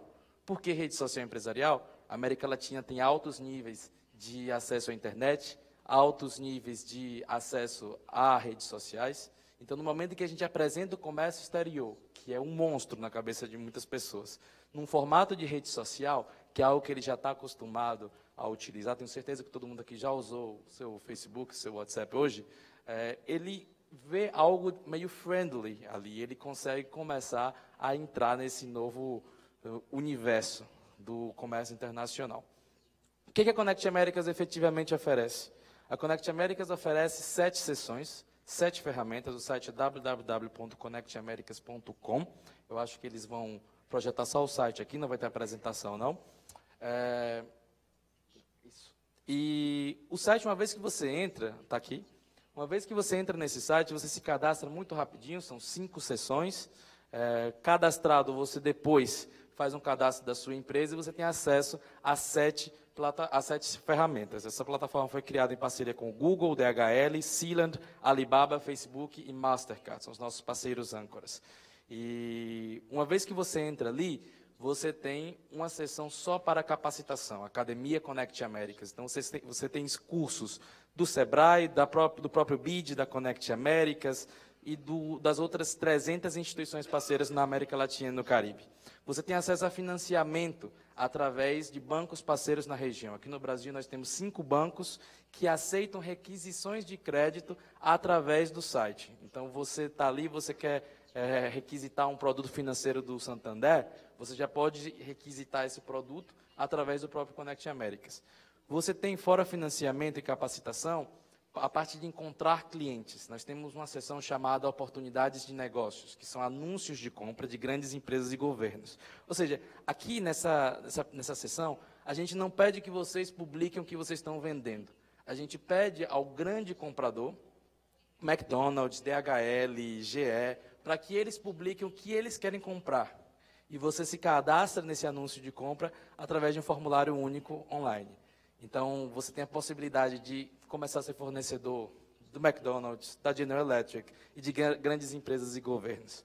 Nós temos também comunidades setoriais de negócios, que é, são grupos onde empresários podem publicar anúncio de opinião, anúncio de compra, anúncio de venda. Ele pode é, procurar ali qual é o grupo do seu setor específico. Com o Sebrae criamos é, esse ano a Comunidade de Negócios Argentina Brasil, que reúne mais de 200, quase 300 empresários da Argentina e do Brasil que querem focar nesse comércio bilateral. E nós temos algumas outras ferramentas que eu não quero me alongar nem entrar muito em detalhe, mas nós temos também, por exemplo, Vitor, a Connect Américas Mulheres, que é um site só para voltado para a mulher exportadora. Então a gente tem oportunidades de negócios exclusivas para empresas de propriedade feminina ou com mais de 51% de funcionárias femininas. Nós temos artigos e cursos voltados para esse público. Nós temos também é, a Academia Connect Americas, temos um simulador de custos logísticos. Então, você quer ter uma noção de quanto custa exportar desde Santos até Hamburgo, a gente tem uma ferramenta criada com o nosso parceiro Ancora Cilia, no grupo MESC, que você consegue fazer ali uma, uma cotação de quanto custa exportar. Você faz isso ali automaticamente, é muito prático, muito rápido. Essa é a Connect Américas, são muitos benefícios, o cadastro é gratuito, nós reunimos várias ferramentas interessantes para vocês.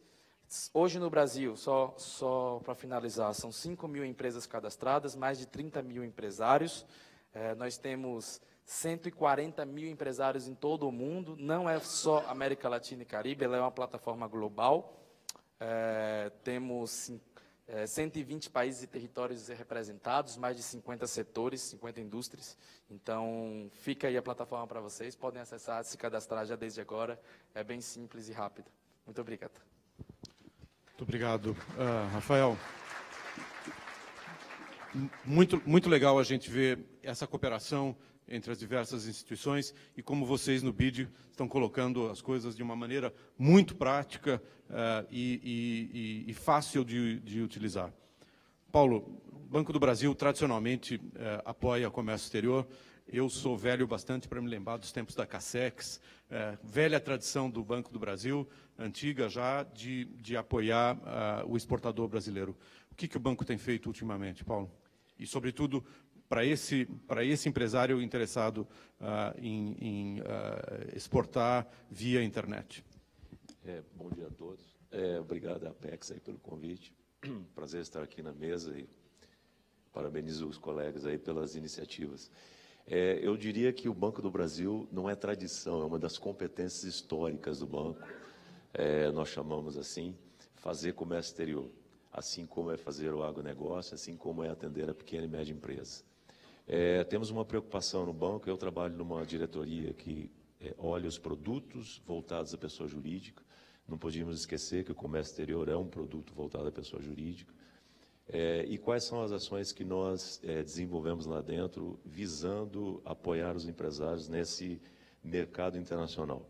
É, ter a competência histórica não significa nada se nós não trouxermos para a mesa né, os, é, é, os é, os pontos importadores, exportadores e como os, as instituições financeiras podem ajudar. É, nós temos, no nosso ponto de vista, três dificultadores ou três pontos principais aí no e-commerce. Né? O primeiro deles seria o próprio marketing digital. Né? Como uma instituição financeira poderia ajudar uma pequena empresa a adentrar esse mercado com o menor investimento possível? É, dado que a preocupação da pequena empresa são várias, capital de giro é um delas, o investimento numa viagem internacional, na participação de uma feira extremamente onerosa. Então, nós firmamos um acordo com uma empresa brasileira, que é a B2 Brasil, que é um marketplace, é inscrição gratuita também, enfim, é, em que o banco apresenta a solução, é, conectando importadores e exportadores, ou conectando potenciais compradores desses exportadores, que também são potenciais, é, e de que forma nós do banco poderemos ajudar as empresas é, a estabelecer uma, uma estratégia de marketing, financiando.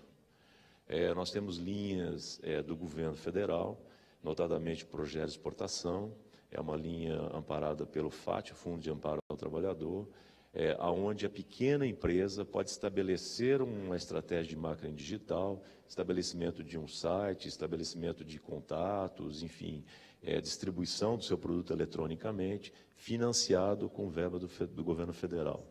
É uma, uma linha bastante acessível, financia desde a compra do pacote até a viagem que aquele empresário venha a fazer é, para participação de feiras ou eventos, ou enfim, ou fazer uma viagem comercial para distribuição dos seus produtos. É, então, eu incentivo aos potenciais exportadores a procurar os nossos gerentes especializados. Nós temos 103 gerentes espalhados pelo Brasil, são 16 unidades focadas em comércio exterior no banco. O banco dedica parte da estrutura, hoje nós temos 4 mil e poucos, quase 5 mil agências. É, desses, nós destacamos 16 agências voltadas ao comércio exterior, com gerentes extremamente especializados, que ajudariam a desenvolver essa estratégia junto com a empresa, ajudariam o apoio junto do SEBRAE, cursos, enfim, Apex, o que, que esse empresário precisaria desenvolver. Obviamente que a segunda preocupação, o segundo ponto, é a logística. O banco, obviamente, nós somos uma instituição financeira, a gente viu aqui muito no painel anterior o que, que tem sido feito pelos, pelas entidades, principalmente do governo, para ajudar na logística. É, e os nossos gerentes especializados têm condições de ajudar esse, essa jornada integral do exportador. É, o terceiro ponto, que eu acho que é o ponto mais sensível, é o pagamento. É, muito se fala em tecnologia de pagamentos, muito se fala do blockchain, das novas tecnologias que hoje entram no mercado, mas ainda acho que a preocupação maior do empresário é: eu vou vender para uma empresa que eu não conheço e como é que eu vou receber?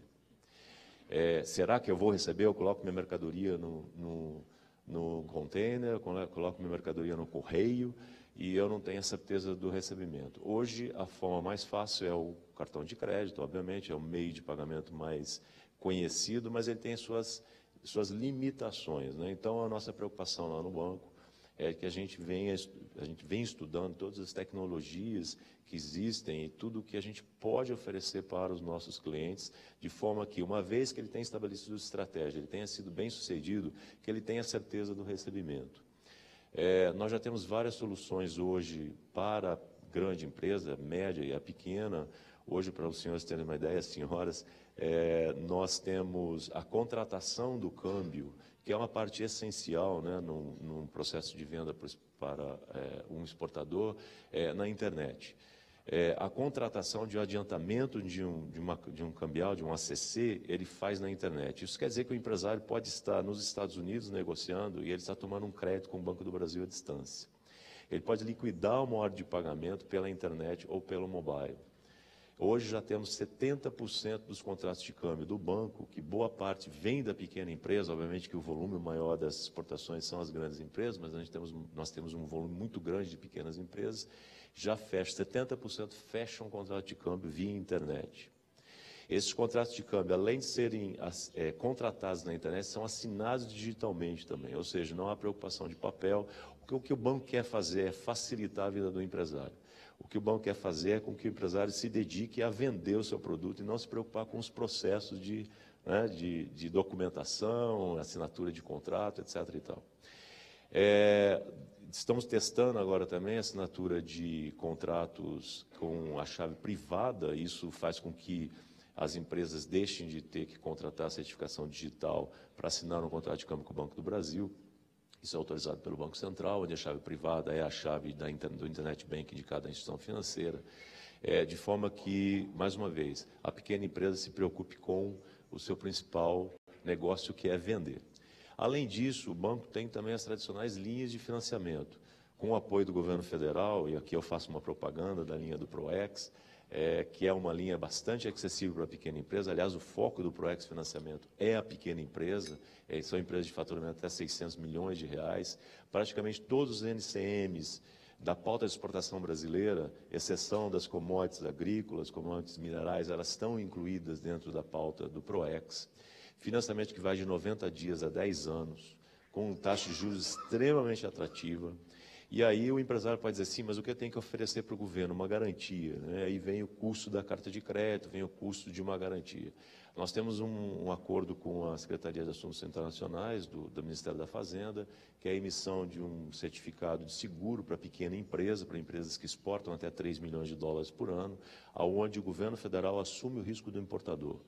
E essa pólice ela é dada em garantia para o PROEX. Ou seja, se o exportador contratar uma linha, um seguro de crédito para o seu importador, ele pode ser dado em garantia para uma linha para o Banco do Brasil e em seguida para o governo federal, que é o PROEX. Isso reduz enormemente o custo financeiro de uma operação, é uma, é uma pólice seguro, portanto tem um custo fixo, é, e ela reduz o custo da operação em si a partir do momento que você transfere a linha para o PROEX, e aí torna aquela exploração bastante é, é, eu diria, competitiva. Né? Nós temos alguns casos aqui, eu me, é, eu me é, sou autorizado a falar, porque a empresa autorizou, nós participamos de uma, a empresa participou de uma licitação no Uruguai, com grandes empresas no Porto do Uruguai, e o trabalho conjunto dos nossos de negócios internacionais e a policy do governo federal e o PROEX fez com que essa empresa, pequena empresa, conseguisse entrar numa licitação internacional e ganhar uma licitação no Porto do Uruguai. É, uma, a empresa manteve empregos e passou até a contratar mais é, empregados por conta dessa licitação que ele ganhou. E é uma linha que a maioria das, dos empresários diria, não, isso é exclusivo para as grandes empresas. Não, pelo contrário. É, nós temos como adequar a linha e como trabalhar o seguro e o financiamento de forma que as empresas consigam ter competitividade. Existem centenas de casos dentro do banco, de empresas que foram bem-sucedidas no mercado internacional, com o apoio dos nossos gerentes, com o apoio das linhas que nós temos e os facilitadores que nós trazemos. E, e a ideia é de que cada vez mais a gente coloque tudo dentro é, do gerenciador financeiro, dentro do internet banking do banco, dentro do mobile, para que o empresário, mais uma vez, foque naquilo que é o mais importante, que realmente é vender, é adentrar o mercado internacional, que já tem todas as suas dificuldades. Né? Nós não queremos ser o dificultador, nós queremos ser o facilitador desses empresários. Hoje nós temos mais de 2 milhões e meio de clientes, pessoas jurídicas no banco. É óbvio que esses 2 milhões e meio é um número pequeno de exportador, mas pela competência histórica do banco, pelos produtos, pelas soluções que a gente vem apresentando, a gente quer que cada vez mais pequenos empresários entrem no mercado internacional. E entrem no mercado internacional de forma perene, de forma que ele, ele encontre parceiros lá fora que é, diferenciem o seu fluxo de vendas, né? que não seja simplesmente um, uma oportunidade, que seja realmente uma perenidade, que seja uma situação em que ele olhe o mercado interno, mas olhe o mercado externo como uma, uma opção. E isso a gente, mais uma vez, é um trabalho que nós vemos desenvolvendo forte lá no banco e eu tenho certeza que nós podemos apoiar, junto com o nosso parceiro, a Bitil Brasil, a Apex, o Sebrae, que tem sido bastante parceiro aí também. É, a gente está à, disposição para qualquer que seja a dificuldade, qualquer que seja o desafio que uma empresa em, em, em, é, enfrente no mercado internacional. O e-commerce, a gente não, obviamente, aqui muito se falou, é, eu acho que é o caminho para a pequena empresa, mais uma vez, onde se desonere é, a necessidade de viagens constantes ao exterior, que se faça uma divulgação muito mais fácil, mas a gente não pode esquecer, acho que foi um colega daqui do, da FEComércio que disse, é um canal. É um canal que as empresas têm que estar preparadas, elas têm que estar é, devidamente aconselhadas e treinadas para que aquele canal seja o mais bem sucedido possível. Né? Eu tenho certeza que o Banco do Brasil é, tem condições de apoiar é, a empresa nessa jornada. Fico à disposição aí para perguntas e um bate-papo. Muito obrigado, uh, Paulo. Muito interessante ver todas essas ações uh, concretas que o, que o banco tem tomado, tomado, inclusive, enfim, esses representantes espalhados por, pelo Brasil e, e, e, mesmo a participação em licitações uh, no exterior. Muito interessante. Como vocês viram, enfim, muita coisa, muita informação interessante sobre incentivos ah, a, a, que o empresário ah, possa aceder ao mercado internacional, vários tipos de plataformas, vários tipos de incentivos ah, do governo. A, a, impressão que a gente tem é que tem muita coisa sendo feita.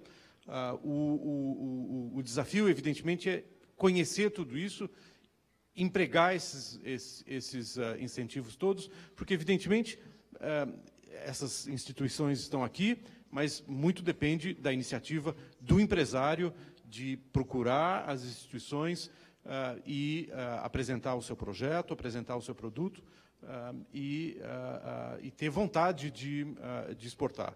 Cristiano, uma, uma última mensagem do lado da Apex, vocês que um pouco capitaneiam todos esses, todos esses esforços de promoção de exportação. É, é, quando os colegas estavam falando aqui, né? É, sempre a gente que está no comércio exterior já há um tempo, é, a gente sempre vê que o grande desafio do comércio exterior no Brasil é o trabalho de coordenação. Né? É, existe aí um conjunto de iniciativas, como o Vitor pontuou, é, e a gente tem esse firme propósito, enquanto agência de promoção, é, pela nossa característica meio pública e meio privada, né? a PEX tem esse essa, essa característica de, de ser um, um, um, coordenador dessas diversas iniciativas. E no e-commerce não é diferente. Né? Então, o nosso propósito é, é, é, é sim trazer esses parceiros é, para esse, esse desafio. É, tem um aspecto importante para os próximos passos do projeto que eu acho importante deixar. A gente, é, a gente quer fazer um trabalho de seleção muito, muito criterioso das 100, 150 empresas que a gente quer é, atuar no primeiro ano do programa. Né? Esses critérios, obviamente, têm a ver com a natureza dos, dos marketplaces que a gente está mobilizando, mas tem a ver também com o perfil exportador da empresa e com é, as características dos mercados que a gente vai atuar nos próximos próximos, nos próximos meses do projeto. Então, a gente é, inicia esse processo dando continuidade a esse trabalho de mobilização das, das, empresas no Brasil, de mapeamento da oferta exportável. A gente também fez, na construção desse projeto, um trabalho de benchmark junto com algumas TPOs, né, com algumas trade promotions como a Apex. É, esse, esse trabalho de benchmark também é, é, super interessante. A próxima mesa um pouco vai, vai trazer isso para a plateia, o que, que as outras é, instituições de natureza similar à Apex estão fazendo.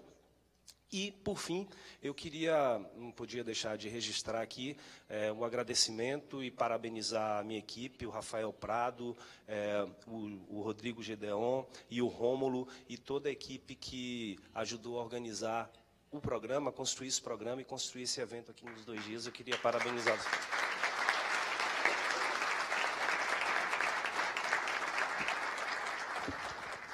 Cristiano, eu acho que com essas palavras nós terminamos esse painel, a não ser que os colegas tenham alguma palavra final, mas acho que o Cristiano deu, deu o tom final. A gente tem espaço depois para conversas bilaterais com uh, com os colegas que estão aqui.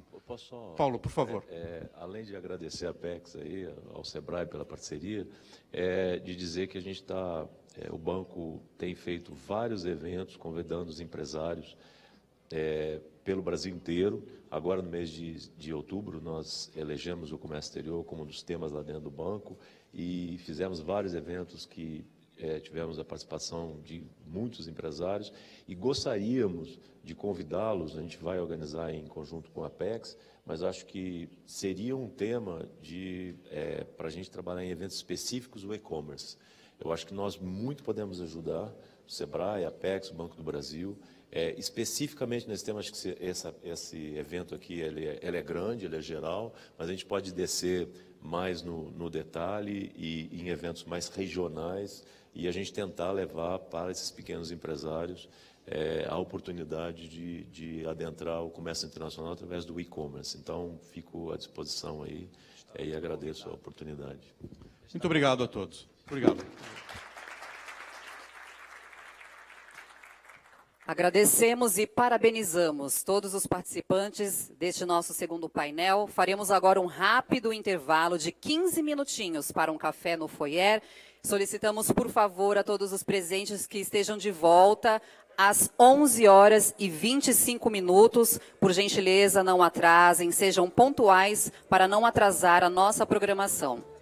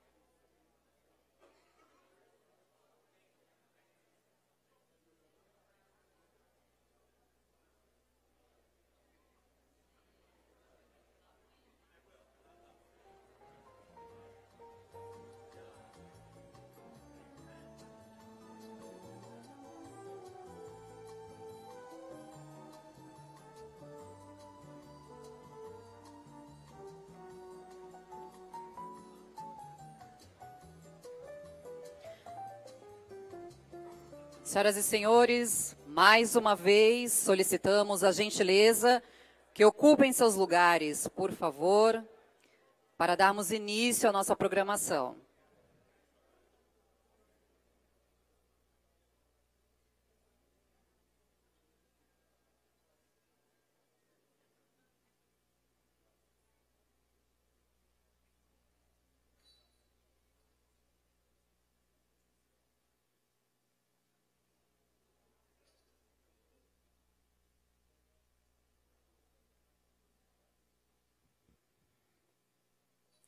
Dando continuidade à nossa programação, vamos retomar a nossa viagem pelo mundo do e-commerce e de como as empresas podem se beneficiar das ferramentas digitais. Vamos então iniciar mais um ciclo de palestras. Para ilustrar os caminhos já trilhados por agências de promoção comercial pelo mundo, convidamos ao palco Benedict Co, ele é diretor da International Enterprise de Singapura.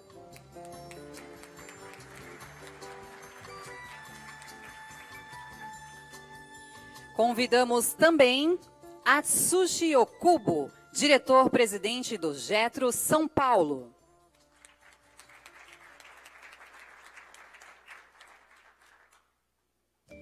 Jorge Gonzalez, primeiro secretário da Proméxico.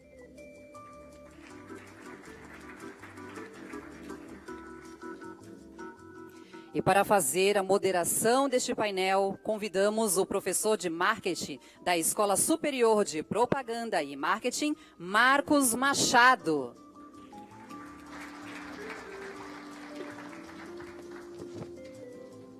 Marcos, a partir de agora, você está no comando deste painel.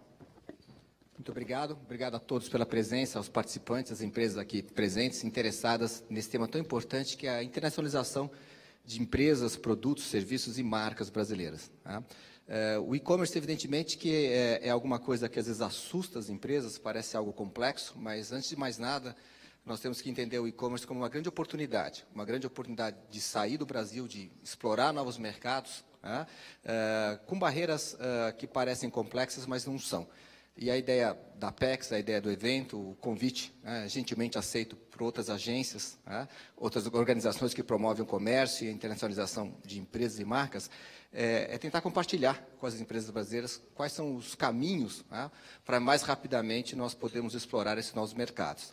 Então, eu queria, mais uma vez, agradecer a presença de todos aqui, né, o Ben de Singapura, o Asushi, né, da Getro, né, o Jorge, né, da agência mexicana, Uh, e antes de mais nada, passar a palavra para eles, né, cada um deles falar uma apresentação breve de torno de 15 minutos, e depois nós vamos explorar aqui alguns pontos importantes que nós achamos interessantes para as empresas brasileiras.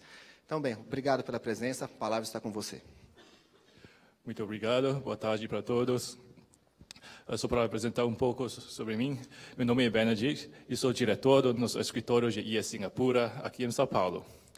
A IE Singapura, na verdade, é a agência comercial do governo de Singapura. E nosso papel principal é para ajudar empresas de Singapura para fazer negócios fora de Singapura. E nós fazemos parte do Ministério do Comércio Industrial de Singapura também. E para cumprir nossa missão, nós temos quase 40 escritórios ao redor do mundo. Na América Latina, nós temos dois escritórios na cidade de México e aqui em São Paulo também. E, bom, eu vou apresentar um pouco sobre como Singapura pode ser um bom parceiro para você, para sua empresa, entrar no mercado do Sudeste Ásia, por meio de e-commerce também. A primeira coisa, eu peço desculpa que o meu site está em inglês, mas eu vou apresentar um pouco em português. Né? Bom, como todo mundo já sabe, a Ásia é um mercado muito grande, que não pode ser negligenciado hoje, hoje no mundo, né? e especialmente na área de e-commerce também podemos ver aqui que o valor do mercado do e-commerce é 1,5 trilhões. E 30% desse valor é e-commerce de cross-border também. Esse valor é mais de dobre do que o, o, o região, a região na segunda lugar, né, como a América Norte. E para ser mais específicas no mercado do Sudeste Ásia, podemos ver aqui que o mercado na Sudeste Ásia ainda é muito fragmentado. Todos os países na Sudeste Ásia têm as plataformas locais, têm plataformas domésticas, Mas também temos plataformas internacionais também, como Alibaba, Amazon, eBay. Isso significa que ainda existem muitas oportunidades na Sudeste Ásia, pra, na área de e-commerce cross-border. E como Singapura vê esse assunto de e-commerce? Temos quatro áreas que estamos focando em. Área de logística, área de marketing e distribuição, área de serviços eletrônicos e área de pagamentos também. E nós acreditamos que essas quatro áreas são áreas importantes para ajudar as empresas internacionais para fazer e-commerce ao redor do mundo, não só na Sudeste Ásia. E vamos ver um exemplo. Temos uma empresa internacional que quer, internacional que quer entrar no mercado Sudeste Ásia.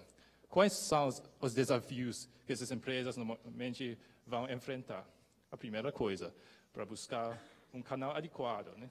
E depois, como ele vai fazer essas uh, promoção de produtos, uh, essas propagandas de produtos. E depois, quando você tem essa demanda, como você vai receber os pagamentos, pode receber por meio de cartão de crédito, por meio de dinheiro, e tem muitas outras coisas que você precisa pensar em. E a última etapa é a área de logística. Em Singapura, por exemplo, nós estamos trabalhando muito com esses distribuidores para ter uma rede ampliada, rede muito ampliada na Sudeste Ásia. Esses distribuidores fazem parcerias com empresas nos todos esses países na Sudeste Ásia e nós ajudamos eles para fazer aquisições também, essa rede forte uh, ao redor desses países, para ajudar empresas para entrar nesse mercado. E eles podem ajudar essas empresas a entrar nesse mercado não só no, no, canal offline, mas também no online também, porque agora estamos focando na multicanal, né? Em termos de e-serviços, nós estamos trabalhando também com essas empresas de e-serviços para ajudar as empresas para aumentar a renda dos produtos, né? E nós também incentivamos as empresas de e-serviços para trabalhar com empresas de outros domínios também, para ser capaz de ter capacidades multidisciplinares, para diferenciar as soluções deles entre outras empresas também. Sobre a questão de pagamentos na Sudeste Ásia, por exemplo, na Sudeste Ásia temos muitos problemas em termos de pagamentos entre países diferentes também. Tem países que não têm taxa de uso muito alta de cartão de crédito, mas com esse crescimento da classe média, essa população faz parte desse negócio de e-commerce. E como nós podemos alcançar essa população que não tem conta bancária, não tem cartão de crédito, por exemplo? Agora temos empresas que, que podem ajudar eles para fazer pagamentos por meio de celular, mesmo que eles não têm o banco, uh, conta bancária também. A última etapa é na área de logística. Igual questão de distribuidor, uh, nossas empresas de logística têm uma rede muito forte ao redor do mundo. Né? E eles podem fazer parcerias com empresas que querem entrar no mercado para ajudar com a gestão de movimento, movimentos de produtos, essas coisas. Esse é um resumo rápido que nós, o que nós estamos trabalhando na Ásia. Mas, por outro lado, estamos trabalhando também com as empresas de Singapura para levar eles para fazer negócios aqui no Brasil. Porque para nós, nós achamos que o mercado Sudeste Ásia é bem parecido com o mercado América Latina também. Temos mais ou menos uh, 700 milhões de habitantes nessas duas regiões. Temos uma classe média que está crescendo. Temos também países bem distintos nessas duas regiões. E mesmo que esses países fazem parte do mesmo bloco econômico, economia, um, eles ainda não estão 100% integrados. E nós achamos que nossa experiência na Sudeste Ásia é bem relevante para, para o mercado da América Latina também. E, por exemplo, ano que vem estamos montando uma missão para trazer empresas de Singapura para procurar oportunidades e parceiros aqui no Brasil também. E, bom, esse é um resumo rápido do que nós estamos trabalhando na área de e-commerce. Obrigado.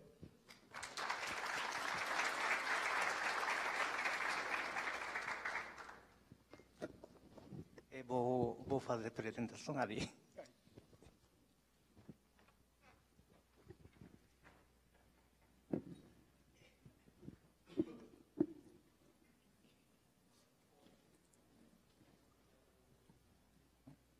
Eh, bom dia para todos. Eh, primeiramente, gostaria de agradecer pela oportunidade de estar aqui e poder apresentar um pouco sobre o nosso trabalho da JETRO. Eh, muito obrigado uh, a todos da Apex. Estou no Brasil desde outubro de 2015, e, mas nasci e cresci no Japão. E morei alguns anos no Chile. Eh, por isso, meu português tem sotaque japonês. E posso misturar alguma, algumas palavras em espanhol. E hoje vou fazer uma breve introdução sobre a JETRO e apresentar nosso programa de Business Matching Internacional através de uma plataforma uh, online. E nosso sistema de busca de férias comerciais internacionais. Um momento. É muito devagar, né? Sim. E, antes de começar, eh, antes de começar, começar a apresentação, gostaria de perguntar quem de vocês já ouviu falar sobre a JETRO? Poderia levantar a mão? Ah, imagino, né? É muito pouco. Infelizmente, parece que a JETRO não é muito conhecida. A JETRO é uma organização como a Apex. É, poderíamos falar era, que era é a Apex do Japão.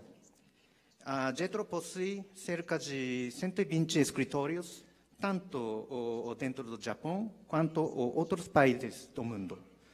Através dessa rede de escritórios, conseguimos eh, conectar rapidamente empresas japonesas com empresas estrangeiras. A Jetro oh, fomenta tanto o comércio exterior quanto o investimento internacional. Isto é, empresa japonesa no exterior ou empresa estrangeira ao Japão. E, porém, no momento não estamos focando mais a importação de produto pelo Japão, de modo de que para este tipo de negócio apenas ajudamos através de plataforma de TTPP que vou apresentar daqui a pouco e também do fornecimento de informação em nosso escritório. Eh, este eh, escritório, Jetro tem 45 escritórios espalhados todo o Japão. E do mundo, fora do Japão, atualmente Jetro tem 74 escritórios em 54 países. Na América Latina temos sete escritórios. E esses são como eh, as atividades de Jetro no Brasil. Eh, pode ser resumido em quatro pontos. Fornecer informação a empresas japonesas. Segundo, incentivar a conscientização de negócio e realizar business matching. E, terceiro, auxiliar internacionalização da, de empresas que desejam investir no Japão e utilizar o Japão como hub de, para a entrada na Ásia, como Singapura. E quarto, atividade para ajudar a melhorar o ambiente de negócio do Brasil. Através dessas atividades, Jetro quer justamente com os senhores ajudar a fortalecer a indústria brasileira a aumentar sua competitividade internacional. Vou apresentar agora a nosso programa de chamado TTPP. Ele está operando desde ano 2000. E a característica do TTPP é que ele é uma plataforma uh, acessível a qualquer pessoa que tenha internet. O TTPP tem um banco de dados especializados para realizar business matching internacional. O cadastro e uso são gratuitos.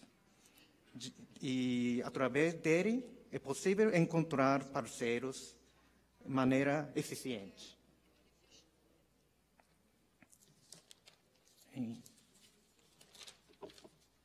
E possível encontrar parceiro de duas formas utilizado o TTPP. Primeiro, encontrar o contato de empresa que façam a busca e encontrarem a sua proposta de negócio. Esse é o primeiro. E segundo, seria realizar você mesmo uma busca por parceiro e conectá-los. Atualmente, temos mais de 20 mil propostas de negócios cadastradas e a plataforma é utilizada por pessoas de mais de 165 países. O tipo de negócio que pode ser cadastrado não é apenas exportação e importação de produtos e, e peças. O TTPP pode ser utilizado para procurar ou oferecer parceiras, transferência de tecnologia, espaço para escritório e fábrica e investimento mesmo. As propostas são classificadas em 13 grandes setores. E é possível filtrar busca por tipo de negócio, setor e região. Pode-se também fa fazer buscas por palavra-chave palavra em inglês e japonês.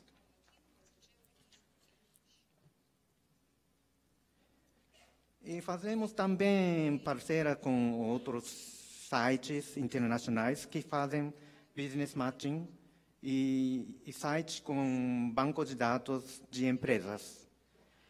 Colocamos os links desses sites na página, na página web de TTPP e, e vice-versa.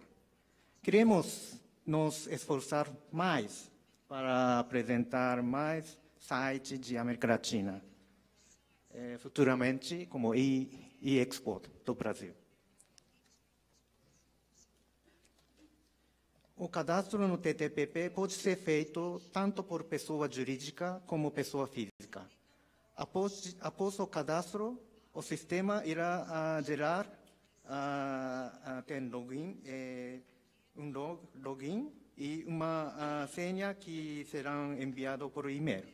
Para aumentar o grau de confiabilidade de sua empresa, recomendamos preencher informação como resumo de negócio e área de atuação e especialidades e algum negócio já realizados. Possível também cadastrar o logo do, da empresa e a foto da pessoa que contato. Todas essas informações podem ser corrigidas ou atualizadas rapidamente, de modo que não há problema se há uma mudança de pessoa para contato, por exemplo. E. e registro da proposta da negócio também é simples. Primeiro, escolha o tipo de negócios, exportação ou importação da produto ou peças, parceira, uh, suporte e, e suporte à empresa, espaço a escritório, fábricas, transferência, tecnologia e investimento. Em seguida, cadastro os detalhes da proposta. E, por último, vou apresentar o GMS, um banco de dados de férias comerciais. No GMS é possível registrar a fazer busca por férias com comerciais que acontecem em vários países. Para aqueles que estão à procura a feira para expor seu produto ou procurar fornecedores, por favor, utilizem o GMS. Bom, é, espero que você tenha entendido minha apresentação com sotaque japonês e espanhol. É, muito obrigado pela atenção.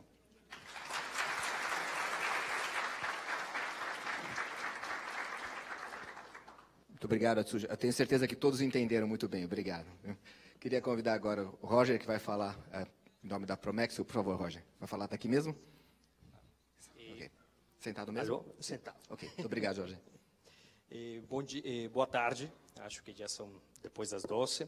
E, meu nome é Jorge Macedo, eh, nosso escritório aqui em São Paulo representa para o México, que é o Apex do México. E quero agradecer aos colegas da Apex pelo convite. Benedict, Asushi, Marcos, uma honra estar aqui com vocês. E bom, eu quero apresentar a estratégia de e-commerce cross-border que o, o, o, México está desenvolvendo. Devo dizer que eh, foi lançada eh, pelo nosso diretor-geral eh, o 4 de outubro passado. Então é muito novo que eu vou apresentar para vocês. E os números, acho que nestes dois dias vocês já conheceram. É um segmento que está crescendo um 25% anual. Estamos falando de 130 milhões de compradores no mundo todo, 2 bilhões de dólares só em um ano. E eh, para o México acredita que o e-commerce é uma ferramenta muito potente, muito efetiva para as pequenas e meias empresas serem incluídas dentro do comércio internacional. E México quer uma fatia desse desse grande mercado. Sim, só que eh, temos alguns desafios a, a resolver e por isso que o, eh, o governo federal mexicano, eh, através do ProMéxico, desenvolveu essa estratégia que vou apresentar agora para vocês.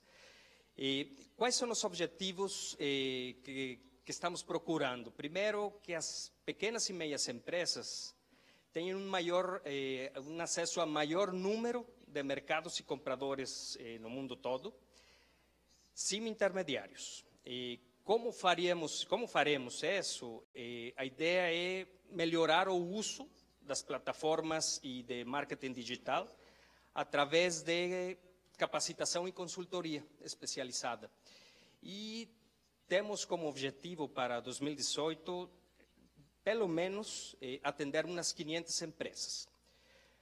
Nosso, nossa estratégia está baseada em cinco pilares que vou mencionar a continuação. O primeiro deles é a capacitação, que já, já falei para vocês. E eh, essa capacitação é gratuita, é via streaming, pode ser ao vivo também, e é feita em conjunto com os grandes parceiros globais, como são PayPal, eh, Facebook, Google e o ProMéxico. Eh, o modelo de capacitação de e-commerce, ProMéxico já tinha desenvolvido do, eh, há uns dois anos. Estamos eh, Nestes dois anos temos atendido um, alrededor de umas 2 mil empresas, mas só na parte da capacitação. E o que nos estava faltando era parte de consultoria. Quando essas empresas já se capacitaram eh, ou já têm um conhecimento prévio de mercados no exterior, já têm exportado, então é o seguinte passo, uma consultoria especializada que vai ajudar eles desde a criação do site da, da loja online, até o, eh, a estratégia de marketing digital nas redes sociais do mercado objetivo. E como apoia para o México? Bom, temos uma rede de consultores que oferecemos para as empresas. E apoiamos com 50% do custo para as, as, pequenas e médias empresas. E eh, tem uma duração de três meses. Pode ser estendido dependendo eh, os resultados. E o terceiro o terceiro pilar de nossa estratégia, eh, o terceiro e o quarto, eh, pela relevância dividimos em, do, em dois, eh, são os parceiros estratégicos. os primeiros, não os primeiros parceiros, mas uma parte desses parceiros são os marketplaces globais, que são os grandes canais de exportação, como são Alibaba, Amazon e eBay, só por mencionar alguns. Esses, esses acordos que o México assinou com, com esses marketplaces permitem uma diminuição no, no FII, ou do custo mensal ou anual, dependendo do marketplace, eh, para o, eh, o, eh, o, vendedor mexicano. Aliás, em alguns sites também se está criando um apartado específico para México ou para produtos mexicanos. Às vezes vão tão focados como para artesanato mexicano. As outras parcerias também têm a ver com aquele grande desafio que apresentam os tanto compradores como vendedores. E um deles é a logística, o custo de envio, que para o México, para um país, eh, para, para o Sudamérica, pode representar uma, uma grande parte do, do custo total. E a bancarização, que tem clientes, às vezes, que não têm, eh, não bancos, não podem pagar.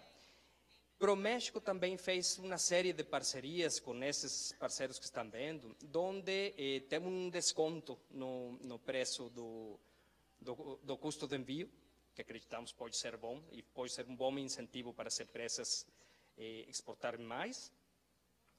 E por último, e quinto, o, o quinto pilar é o B2B Pro México. Essa é uma ferramenta que nós temos no mínimo uns 10 anos.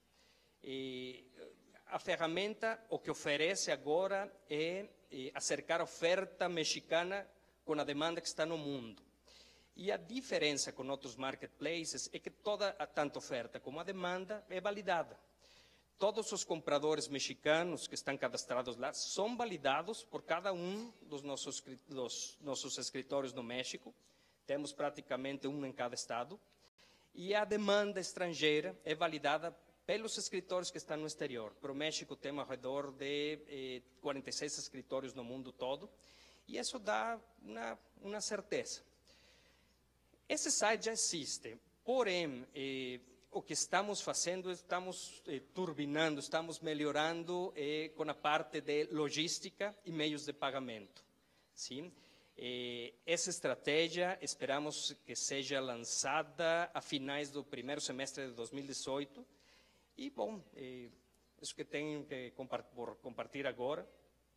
Eh, deixo nossos contatos aqui está o, o, o, contato do nosso colega Samuel Lara, que é a pessoa que desenvolveu toda essa estratégia no México. E, bom, quero agradecer pela sua atenção.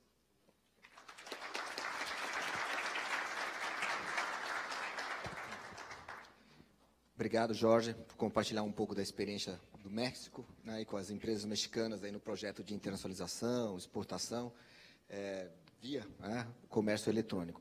É, eu fui anotando aqui ao longo das apresentações, todas elas bem interessantes, né? cada uma delas nos traz curiosidades e perguntas diferentes e aprendizados diferentes para as empresas brasileiras que buscam no e-commerce uma oportunidade de internacionalização. Então, eu queria começar seguindo a ordem Ben, tá? duas perguntas. Ben, conhecendo um pouco o Brasil, já que seu português é tão bom, imagino que você conheça um pouco do Brasil. É, Pensando nas empresas brasileiras, daquilo que você observa do mercado brasileiro, que tipo de setor, que tipo de empresa você acha que prioritariamente deveria pensar em Singapura como uma ponte para chegar na Ásia e no Sudeste Asiático? Do que você olha aqui, quais são aquelas empresas que você fala, puxa, esse setor é, talvez fosse beneficiar mais dessa oportunidade? É, eu acho que tem alguns setores aqui no Brasil que deve ser interessante para o mercado uh, Ásia, ou na verdade na Sudeste Ásia. Né? E esse, um desses setores é na área de moda, porque eu acredito que aqui no Brasil tem muitas empresas de modas muito fortes aqui. Tem marcas que são bem estabelecidas aqui na América Latina, que pessoas na Ásia ainda não conhecem. E essa área existe uma oportunidade muito grande também, porque na Ásia as pessoas estão buscando para novas modas, novas marcas, e todas as marcas da Ásia, ou na verdade dos Estados Unidos, já estão bem conhecidas na Ásia. E eles precisam novos produtos também. E acho que essa área é interessante para eles. A outra área também, para mim, que deveria ser interessante para o mercado Ásia, é a área de cosmético. Por exemplo, a Natura aqui no Brasil é uma marca muito forte aqui no Brasil também. E recentemente eu li que ele comprou o Body Shop, que tem muitas lojas em Singapura também, e eles estão pensando está pensando em área de e-commerce para avançar mais na, na, na, no mercado da, da Ásia também. Então, essa área de cosmético, da moda e também na área de esporte, na verdade, moda de esporte também, por exemplo, roupas com proteção de UV, porque na Ásia também temos muito sol e esses produtos são precisadas na Ásia. E acho que essas áreas podem ser interessantes para nosso mercado também. Ok. Ainda nessa, obrigado. E ainda nessa linha, e do que você conhece das empresas brasileiras que já tentaram ou que eventualmente entraram em contato com vocês, né? É, você enxerga alguma barreira que é mais comum dentro das empresas brasileiras, alguma coisa que dificulta esse processo de aproximação e de uso do e-commerce? É, que a ideia é alguma barreira que prioritariamente as empresas brasileiras deveriam, vamos dizer, afastar para se aproveitar melhor dessa oportunidade? Bom, o mercado da Sudeste Ásia é primeira coisa é bem longe para as, as, empresas brasileiras também, né? Tem uma questão de cultura, tem uma questão de idioma, questão de uh, fuso horário, esses, esses desafios práticos. Mas acho que eu, por isso temos um papel para Singapura, para ajudar essas empresas para entrar no mercado, né? Porque primeira coisa, Singapura está bem localizado na Ásia. Muitas outras empresas estão usando Singapura como hub para entrar no mercado Ásia por causa da nossa rede ampliada, por causa das nossas uh, empresas que estão integradas com o mercado do Sudeste Ásia. Nossas empresas podem oferecer soluções completas, soluções integradas para ajudar as empresas brasileiras desde o início até o fim do processo para entrar no mercado. Por exemplo, para entrar no mercado da Ásia, como você vai lidar com esse assunto de, de logística? Tem muitos países da Sudeste Ásia também, o tamanho quase igual à América Latina, é um mercado bem complicado também, bem complexo. Como você podem fazer parcerias com essas empresas para entrar no mercado, para entregar os produtos e para chegar às áreas que é muito difícil para chegar, na verdade. E nessa área nossas empresas podem ajudar. Nossas empresas podem ajudar também não só para entrar no mercado com um canal, mas na maneira de multicanal, porque agora nós percebemos que, que muitas empresas que entram no mercado por, me, por meio de canal física e também por meio de canal online. E nossas empresas podem ajudar vocês nessas duas vias no mesmo tempo. Como, uh, como você pode gerenciar os inventários online e offline no mesmo tempo. Esse é um, um questão que nossas empresas têm experiência. Assim. Eu acho que essas áreas são os desafios normais que essas empresas vão enfrentar e temos soluções para esses problemas também. E, e, nesse processo de apoio, de ajuda, há um, algum pro, programa de treinamento mais formal, mais estruturado, ou cada caso é um caso, depende do setor, do tipo de, de serviço que uma empresa brasileira vai buscar em Singapura para chegar no sudeste da Ásia? Ou existe um programa que vocês oferecem de treinamento, alguma coisa via streaming ou presencial? Como, como funciona, em termos práticos, esse tipo de apoio?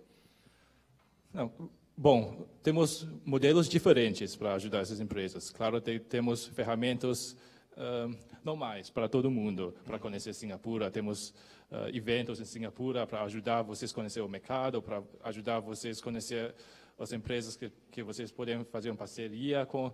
E temos programas para ajudar você a entrar no mercado. Mas também adotamos um, uma forma customizada, depende de cada empresa, porque nós sabemos que todas as empresas têm necessidades deles que talvez não, é, não seja igual com outra empresa. E, nesse caso, adotamos um, uma abordagem bem customizada, depende da sua necessidade. Vamos oferecer módulos que talvez você precisa. E esses dois modelos que estamos trabalhando em. Ótimo. Muito obrigado, Ben, pelas respostas e pela contribuição. Muito obrigado. Tá? Atsushi, vamos falar um pouquinho da Getro. Né? Nós estávamos olhando a ferramenta, o muito interessante. Parece bem flexível, acho que reúne de maneira fácil e acessível um conjunto de informações, acho que bastante valiosa né, para uma empresa que busca se internacionalizar.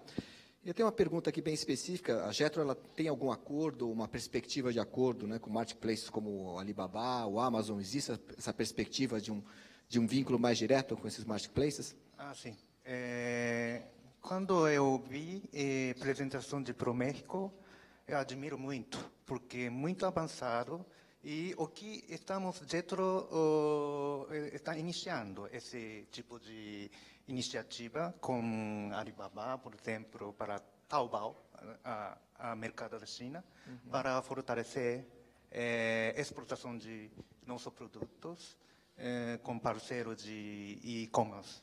E também estamos pesquisando o que tipo de e, e sistema de e-commerce eh, em região, em região da América Latina, talvez seja, por exemplo, eh, como se chama? Eu esqueci. Eh, é, um, um, como se chama, esqueci o nome, é, mas eu te, tenho que buscar uh, parceiro com esses como sistema de e-commerce e e também também nosso o, o projeto também estamos fazendo como ensinança uh, uh, para educar uh, exportadores como como para o México como o México faz, faz temos um seminário de e-commerce eh, mas não estamos avançados sim estamos iniciando esse processo Ok, obrigado. E pensando, a, pergunta parecida com a que eu fiz para o Ben, pensando no, nas empresas brasileiras, né, nos setores né, que você observa aqui no Brasil, é, que tipo de empresa você acredita ou de setor poderia se aproximar, é, se aproveitar melhor de uma aproximação, um utilizo da utilização da TTTP?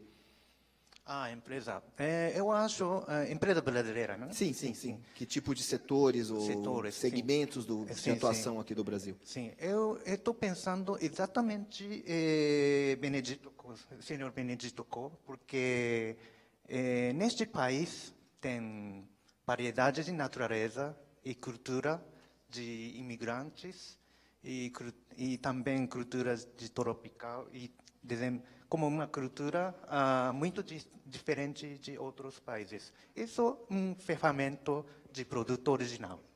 E eu acho, por exemplo, a moda, calçados, ou, por exemplo, cosméticos, são um produto muito, tem muito potenciais.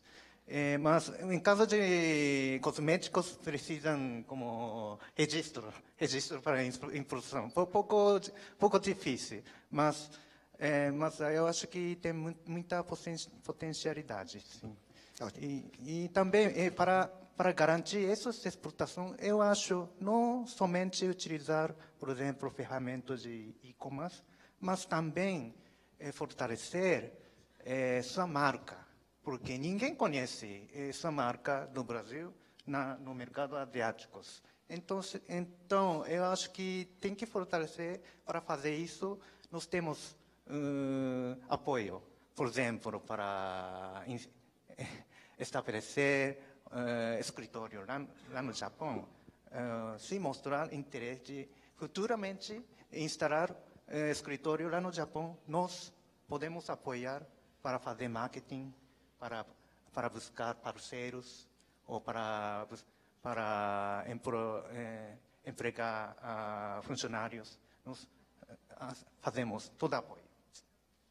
Ótimo, muito obrigado. Queria só frisar aqui, junto aos participantes, é, não foi combinado, mas os, nas duas respostas, não sei se vocês separaram, que ambos os convidados falaram da questão da marca, né? Quer dizer, ou seja, o e-commerce ele é um meio, né? mas não adianta nada é, se simplesmente utilizar, quiser utilizar o e-commerce e desconsiderar o, o, eventual desconhecimento que o cliente tem da marca no local de, de enfim, no mercado de destino, né?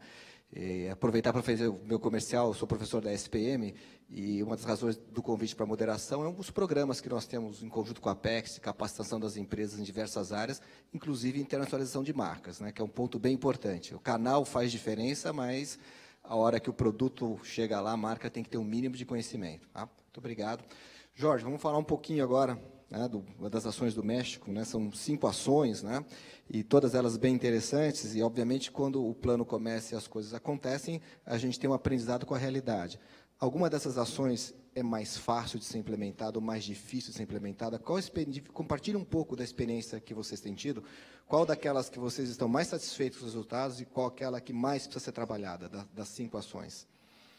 Eu acho que a ação que precisa ser mais trabalhada é parte da consultoria. E tomar capacitação é muito fácil, é só se sentar e de, algum, de alguma forma é uma coisa muito passiva. Mas para a empresa decidir e optar por esse modelo de negócio, precisa ter um planejamento, precisa ter um, é, vou falar a palavra, um, um, coragem adicional para incursionar nisso. Uhum. Então, acho que essa é a parte que tem sido mais difícil.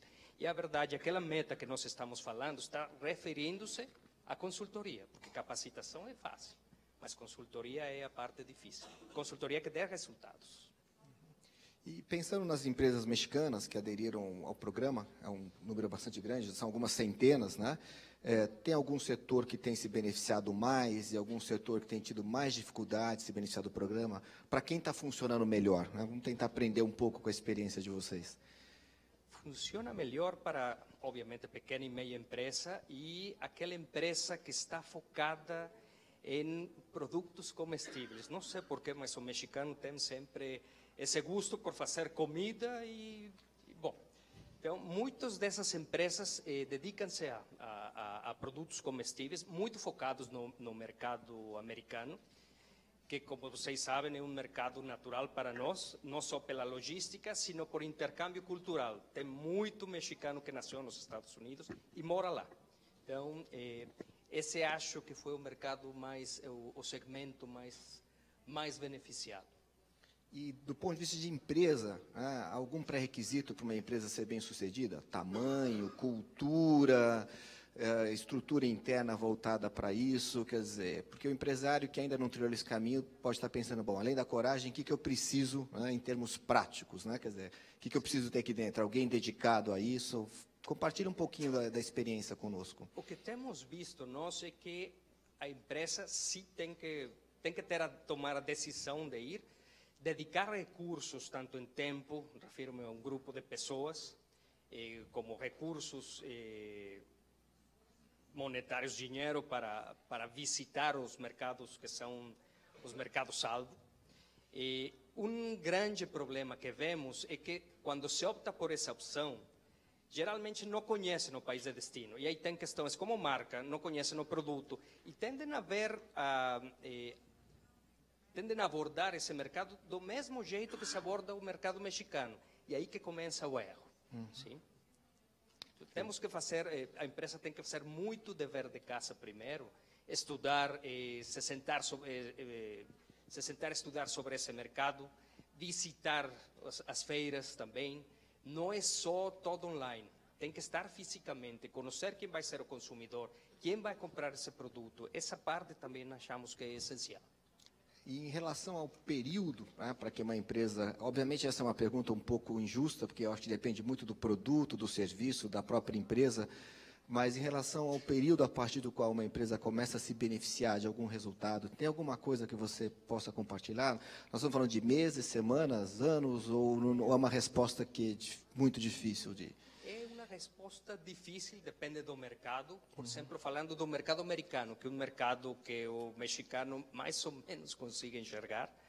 E eu acho que se a empresa já já tem um já tem exportado no online em questão de uns de poucos meses, pode já com todo o site construído, tudo, eu acho que uns menos de um ano, poderia dizer, de, de 8 a 12 meses.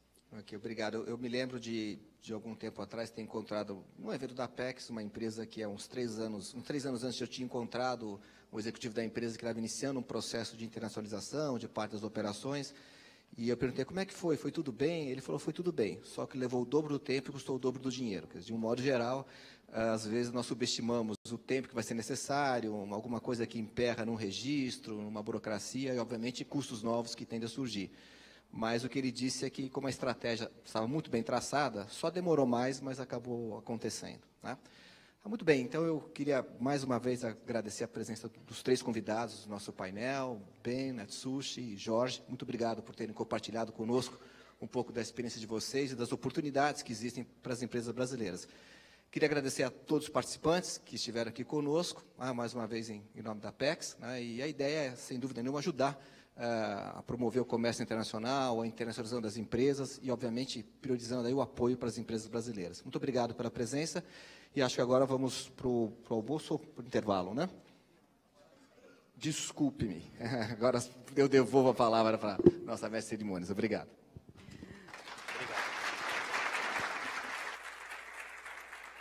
Nosso muito obrigado e parabéns a todos os participantes deste painel. E na sequência, e finalmente, o nosso último painel, e com um tema de extrema relevância como as mulheres vêm se tornando aos poucos liderança no comércio eletrônico. para falar sobre empreendedorismo feminino no e-commerce cross-border, convidamos ao palco Adriana Carvalho, gerente dos princípios do empoderamento feminino da ONU Mulheres.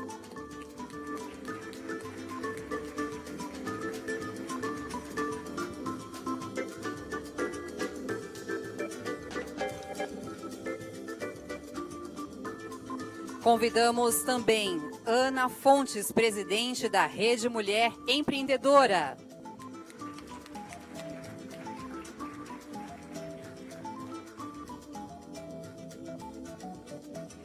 Helene Veguin, cofundadora da Artéria.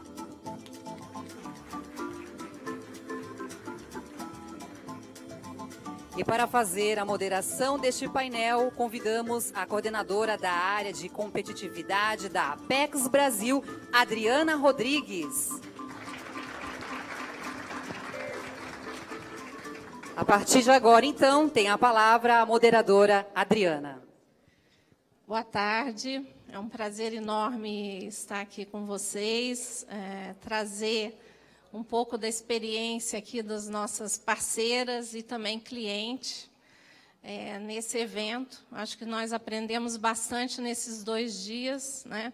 principalmente que é, é possível né, acessar esse canal de comercialização. E também é, um outro aprendizado que me chamou a atenção é a participação das mulheres como consumidoras. Né, elas realmente aderiram ao e-commerce, a gente gosta muito dessa facilidade né, de compra, e também a, a, participação, principalmente em todos os mercados ontem praticamente, dos segmentos de moda e cosméticos, onde no Brasil nós temos uma grande participação de empresas lideradas por mulheres. Então nós vemos que há uma oportunidade aí bem grande é, para as nossas empreendedoras. Né? É, um projeto que a PEX tem há dois anos é o projeto Mulheres na Exportação. Nosso objetivo é inserir um número cada vez maior de empresas lideradas por mulheres no comércio internacional.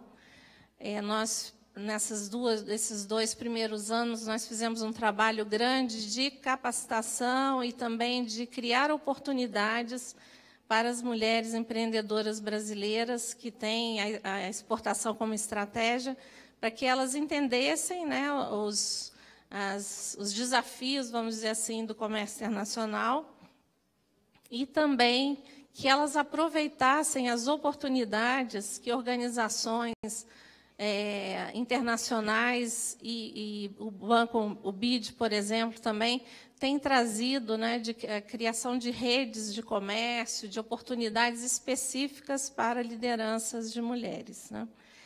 Então, dentro desse contexto, ano passado a OMC é, propôs uma discussão muito forte né, de, de, do comércio internacional ser um comércio inclusivo, né, em que as mulheres, é, os pequenos produtores pudessem, né, as pequenas empresas também pudessem cada vez mais acessar o comércio internacional e que ele fosse um meio de desenvolvimento sustentável.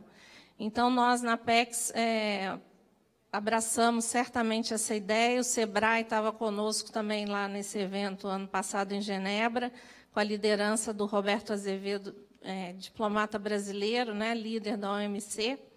Então, nós é, desenvolvemos o, o, projeto Mulheres na Exportação e também estamos dando cada vez mais ênfase à participação das mulheres no, nos nossos projetos. Eu gostaria, então, de começar perguntando a Adriana Carvalho, nossa gerente da ONU Mulheres, parceira da PEX nesse projeto, quais são, então, a, a, importância, né, qual é a importância de engajar cada vez mais mulheres no comércio internacional e que essa e realmente empoderá-las né, economicamente para que possam gerar mais renda, empregos e, e, e crescimento. Muito obrigada, Adriana. Bom dia a todos e todas.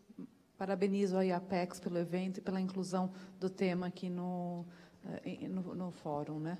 Então, uh, acho que antes de eu responder a sua pergunta diretamente, eu gostaria de lembrar a Agenda das Nações Unidas para o Desenvolvimento Sustentável, lançada em 2015, né, e que vai reger todos os Estados-membros das Nações Unidas, as grandes corporações, a sociedade civil até 2030. Uh, essa agenda ela foi construída diante do desafio da gente ser a última geração realmente a mudar a maneira de fazer as coisas e, portanto, endereçar a, os desafios da, da, mudança climática e deixar um planeta para as futuras gerações e realmente ser a primeira geração a ter a oportunidade de eliminar a, pobreza. Não é possível, essa agenda é composta por 17 objetivos, um dos 17 objetivos é a igualdade de gênero e empoderamento das mulheres, a questão das mulheres está presente em mais 12 desses 17 objetivos, e o objetivo 17, que eu sempre gosto de ressaltar, é a parceria para implementar. Né? Se a gente vai dar conta desse desafio dessa agenda, a gente vai dar conta trabalhando em rede, não vai ser cada país trabalhando isoladamente ou cada organização trabalhando isoladamente. E não dá para dar conta conta dessa agenda, deixando metade da população, que são as mulheres do planeta, para trás. Né? No caso do Brasil e de muitos outros países, inclusive um pouquinho mais do que a metade também há um claro uh, case de negócio mesmo, do porquê empoderar as mulheres. Né? É a coisa certa a se fazer, sim, mas é também a decisão mais inteligente para o desenvolvimento de longo prazo dos negócios e das empresas. Né? Você falava aí de compras, né? e claro que a gente acabou caindo aqui em categorias mais ligadas às mulheres, que são a moda e os cosméticos, mas as mulheres decidem compra de produtos e serviços aí quase 80%, em muitas categorias, e não só nas categorias tidas como de mulheres. Né? Então, se eu quero falar com a minha consumidora e com o meu consumidor, né, na sua pluralidade, idade, sexo, eh, religião, eu preciso ter essas pessoas dentro da minha força de trabalho. Né? Eu preciso entender dessas pessoas, senão como é que eu vou vender a coisa certa? As mulheres se formam mais nas universidades em 97 países ao redor do mundo. E claro que a gente fala isso, mas a gente não quer que... Uh, o objetivo final é que homens e mulheres cada vez estudem mais e cheguem à universidade, completem a universidade. Mas até pela cultura que temos, a, a pressão nos homens para prover né, e ir para o trabalho é maior do que para as mulheres. As mulheres terminam aí estudando mais. Se eu quero ter os melhores talentos trabalhando, para mim, eu quero ter que as mulheres têm que querer trabalhar para mim também, né? Então, senão eu vou ter, não vou escolher as melhores pessoas que tem aí no mercado. Então, essa é uma outra questão. A gente também sabe que num ambiente cada vez mais globalizado, mais complexo, onde eu preciso gerir muitos riscos e preciso cada vez inovar mais, pensar em caminhos diferentes, times diversos são fundamentais, porque senão somos todas pessoas iguais, uh, pensando igual, a gente não enxerga as outras possibilidades. Mas eu gosto também sempre de lembrar que times diversos, eles acertam mais, mas eles têm um menor conforto com a decisão tomada, porque quando a gente está tomando decisão entre pessoas que pensam diferente, é sempre um desafio maior. Há um questionamento e, normalmente, a decisão escolhida pelo time é uma decisão diferente do que seria a opinião individual de cada um. Né? Então, por conta disso, ah, a ONU Mulheres é a agência das Nações Unidas para a questão das mulheres e das meninas. Ah, o empoderamento econômico é chave na nossa agenda, né? não é o único, mas ele é fundamental. Ah, cito aqui um outro estudo recente da McKinsey, que diz que se a gente diminuir as desigualdades de gênero, né, são 28 trilhões na economia ao redor do planeta, né? e se a gente não eliminar 100%, mas só eliminar parte, são 12 trilhões. Né? Então, é um número que sempre brilha o olho olho de todo mundo. Né? Em época de recessão econômica, o que a gente mais quer é que a economia cresça. Mas a economia tem que crescer, a gente tem que continuar prosperando, mas de uma maneira mais consciente. Né? Não dá para ter esse consumo desenfreado, não dá para ser tudo descartável. Né? Então, são inúmeros desafios. E a gente acha que ter as mulheres participando de toda essa discussão é fundamental para chegar nisso. Né? E, claro, quando a gente pensa na competitividade das mulheres empreendedoras, a gente sempre discutiu muito aqui eu, Adriana e Ana, né, que se preparar para exportar é ter a minha empresa o mais competitiva possível, ainda que eu escolha no final não exportar. Né? Mas quando eu tenho que me preparar para muitos mercados, eu sou obrigada a, a, operar na máxima eficiência. Né? Eu sou obrigada a me preparar para muitos modais logísticos, para muitos tempos de entrega, para muitos consumidores e consumidoras diferentes. Né? Então, é, é fundamental. Também nesse mundo uh, globalizado e diferente, diferente, não faz sentido uma pequena empresa que tem uma estrutura tão enxuta, ela montar toda uma estrutura no país de destino. Né? Então, ferramentas como o e-commerce, mas como falava o painel anterior, não é só a, o e-commerce é uma ferramenta, né? É um modelo realmente de operação e esse modelo de operação ele passa por parcerias, passa por eu me apoiar em empresas que tenham a natureza do seu negócio como sendo o entendimento da exportação e da importação, né? Então tudo isso é fundamental. O e-commerce é uma parte de tudo isso, né? Mas esse ecossistema uh, é fundamental. Ótimo, obrigada, Adriana. Eu queria também ouvir um pouco a opinião e experiência da Ana Fontes, que é a fundadora da Rede Mulher Empreendedora, acabou de ganhar um prêmio da revista Fortune de liderança feminina é, no mundo. Né? Eu queria que você falasse um pouco disso também para a gente, mas principalmente dessa desse trabalho que vem, você vem fazendo de capacitação, de mostrar às mulheres as oportunidades no comércio eletrônico, nas redes sociais. Obrigada. Adriana, muito obrigada pelo convite. Muito feliz de estar aqui hoje com vocês. Bom dia a todos e todas. É, eu sou fundadora da Rede Mulher Empreendedora. A rede existe há quase sete anos. Nós vamos para o oitavo ano agora, em 2018. Nós temos cerca de 300 mil mulheres na Rede Mulher Empreendedora, que eu fundei baseada numa dificuldade que eu tive de desenvolver o meu negócio. E o que a gente trabalha fortemente na rede é ajudar essas mulheres a terem os seus negócios de uma forma mais estruturada e mais é, que sejam mais competitivas.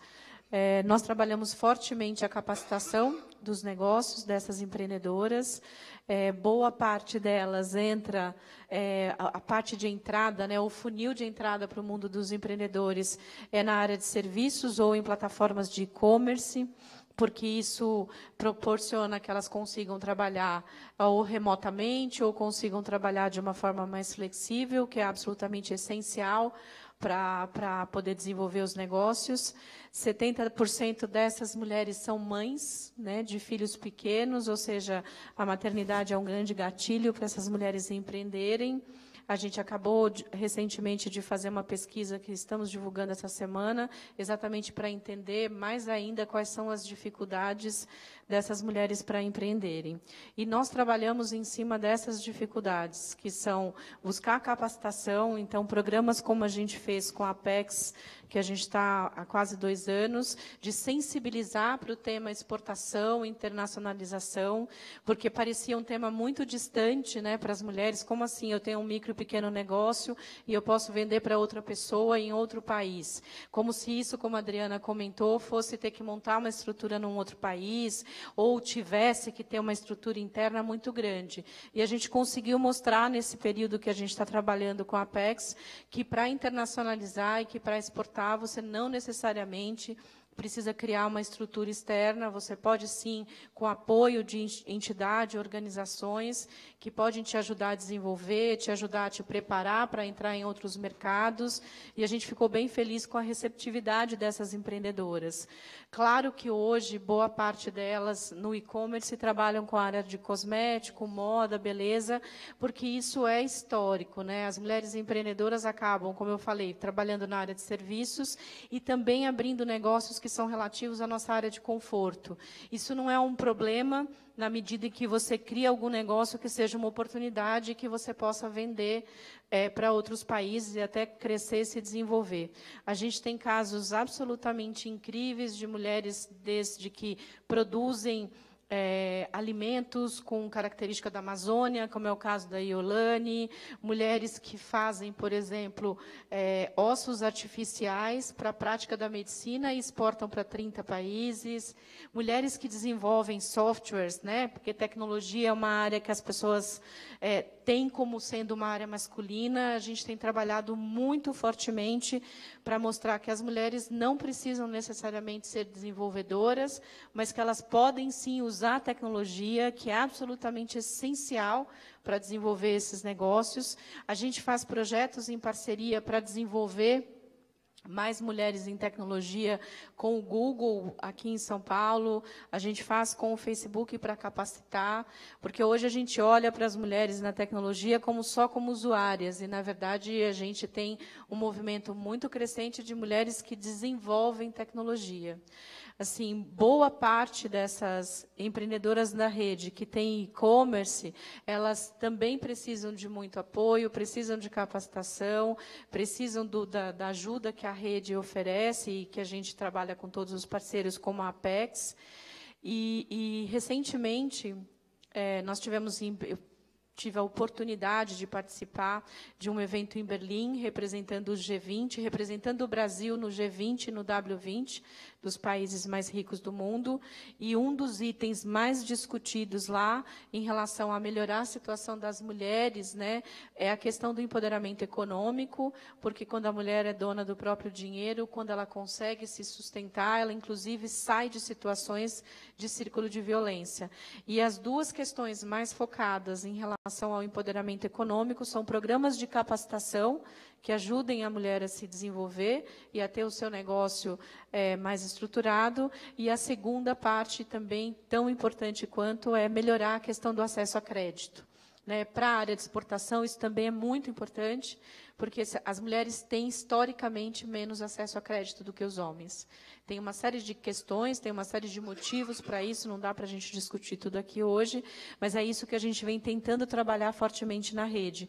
Um lado, capacitação, ampliar o leque de opções para essas mulheres empreenderem tecnologia, segmentos de conforto, serviço, produtos, e do outro lado também trabalhar fortemente para políticas públicas para a gente conseguir melhorar a situação das mulheres no que diz respeito ao acesso a crédito. Muito bom, Ana. A nossa terceira convidada é Ellie Weg.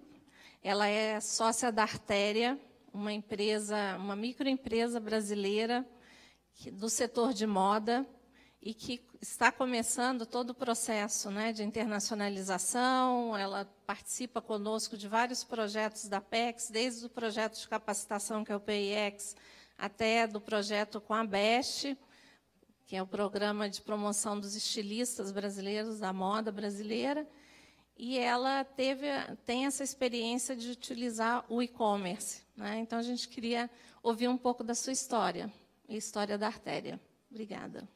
Primeiro, obrigada. É muito, é uma honra para mim e para a Artéria estar no meio de mulheres que fazem a diferença e são tão importantes no dia de hoje.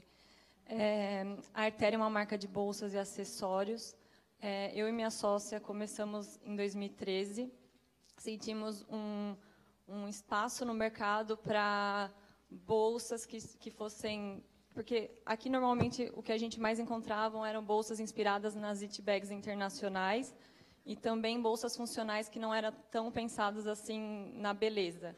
Então a gente viu essa brecha no mercado e, e começou a artéria. Todas as nossas bolsas elas se transformam na forma ou na função e o design é muito importante para a gente. Então, eu vou, vou apresentar um pouco para vocês entenderem o que eu estou falando.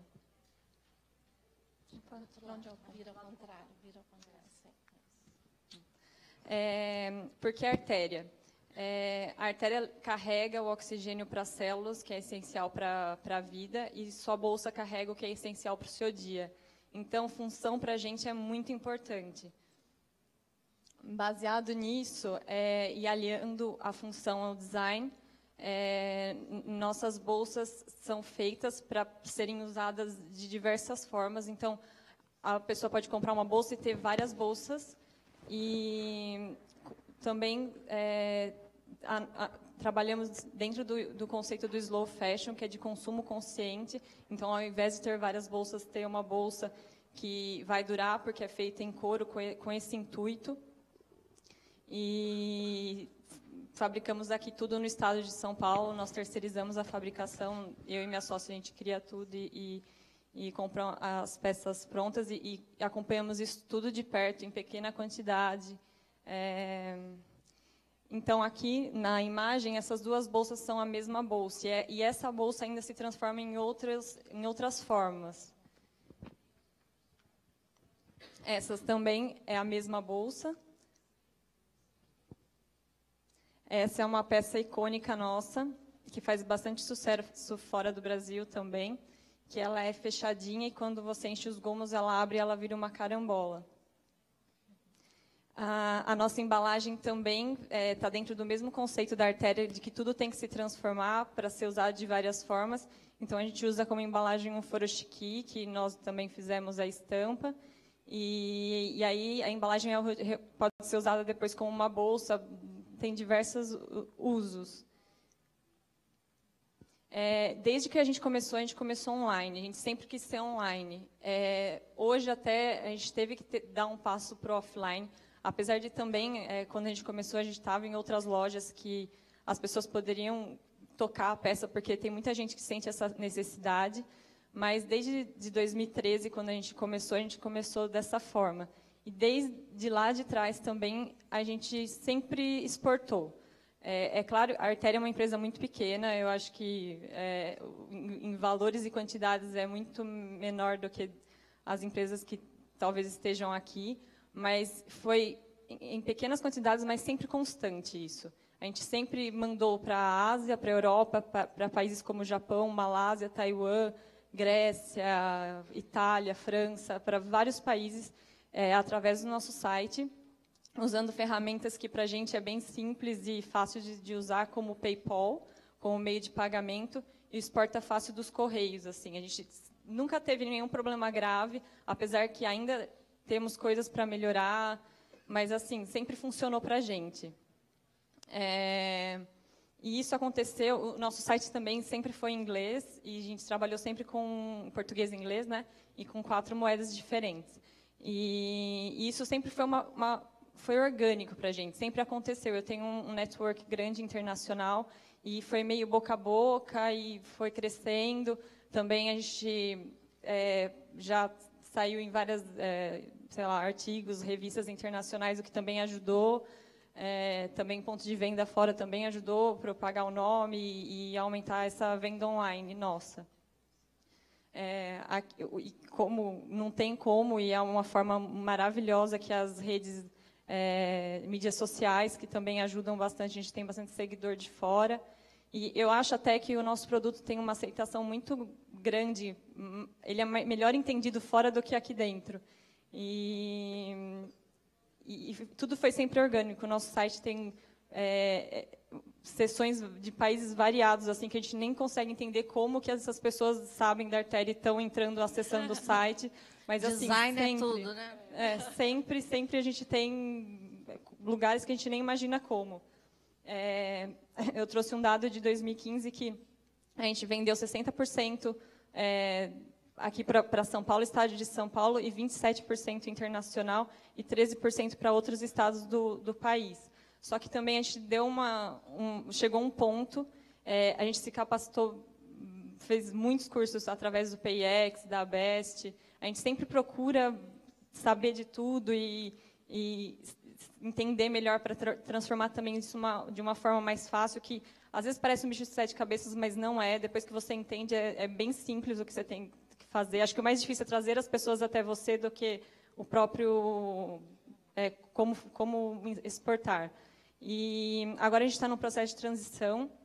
É, a gente acabou que quem trabalha online sabe, tem que estar o tempo inteiro mudando, o tempo inteiro vendo o que o mercado está fazendo.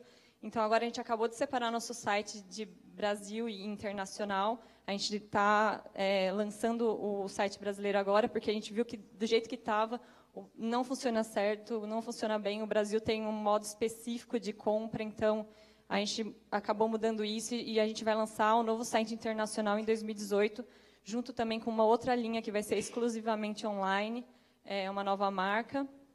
E é isso. Estamos aí sempre para frente, aprendendo e, e, caminhando. Muito bom, muito bom. A gente aprende muito com vocês da geração milênio. Quer dizer, como você falou, tudo é muito orgânico, né? Isso é muito, muito lindo, né, de ver. Adriana, você podia falar um pouquinho desse trabalho que a ONU faz com as grandes empresas e parceiros internacionais como a WeConnect e outras redes para é, sensibilizar as empresas para as compras de produtos e serviços de mulheres? Claro, com o maior prazer. É, bom, cito primeiro uma referência que a gente publicou há pouco tempo, que é o Poder de Compras, como adquirir de negócios liderados por mulheres. Uh, e esse trabalho é o, o, Brasil se inseriu nesse trabalho internacional da ONU Mulheres que foi financiado pelo Citibank por tudo que a gente tem feito realmente aqui no Brasil. E eu agradeço realmente a rede, a Apex, porque o nosso trabalho só tem sido possível através das parcerias. A grande plataforma que a ONU Mulheres tem ao redor do mundo, e é uma plataforma conjunta com o Pacto Global, que é a maior rede de cidadania corporativa ligada às Nações Unidas, se chama Princípios de Empoderamento das Mulheres, ou em inglês Women Empowerment Principles, e simplesmente conhecida pela sigla WEPS. Eh, é um convite para todas as empresas com mais de 10 funcionários a assinarem esse compromisso de que empoderar as mulheres é a decisão certa, mas também a decisão mais inteligente para os negócios. Não tem um pré-requisito, as empresas realmente são convidadas a assumir que essa é uma agenda importante, tem que ser assinado pela pessoa que ocupa a posição número um da empresa, uh, e elas uh, recebem sete princípios, um guia de autoavaliação pra, e, e uma série de exemplos de práticas para que elas possam realmente fazer o seu plano de ação, que é sempre individual, é no ritmo que a empresa entende que é o correto, para que ela empodere as mulheres dentro da empresa, na sua cadeia de valores e nas comunidades onde ela atua. Né? Então, uh, um dos princípios é o princípio realmente de como ela trabalha a cadeia de valores. E a cadeia de valores ela pode trabalhar de duas grandes formas.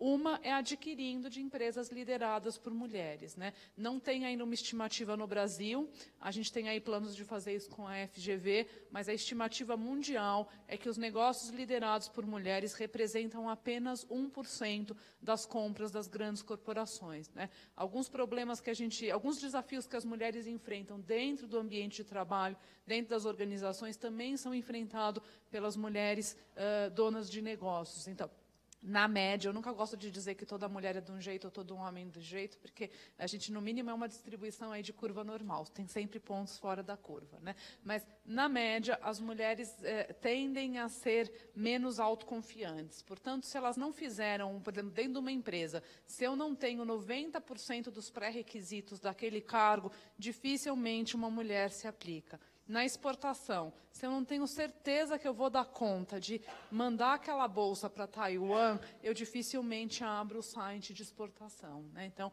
esse conservadorismo que é mais comum entre as mulheres do que os homens façam realmente que as mulheres, às vezes, sejam excessivas no seu cuidado. Né? A gente fala que o mundo do futuro não deveria nem ser o estereótipo do homem que, com 20%, diz que pode fazer tudo, e nem da mulher que precisa de 90%, 95% para dizer que pode. Né? Acho que tem um balanço aqui que é saudável. Né? Um pouquinho de precaução é bom, mas esse excesso faz com que você se mova muito vagarosamente. Então, algumas grandes empresas, elas têm optado por dar capacitação para mulheres de como é ser fornecedora delas. Né? Então, o Citibank é uma dessas empresas que adotam esse tipo de programa. Outro programa que grandes empresas também adotam é como eu ofereço mentoria para negócios que estão iniciando. Né? Então, a UI é um que tem, por exemplo, o Winning Women, né, que pega realmente negócios aí, já não pega negócios tão pequenos, já pega negócios aí um pouco mais promissores.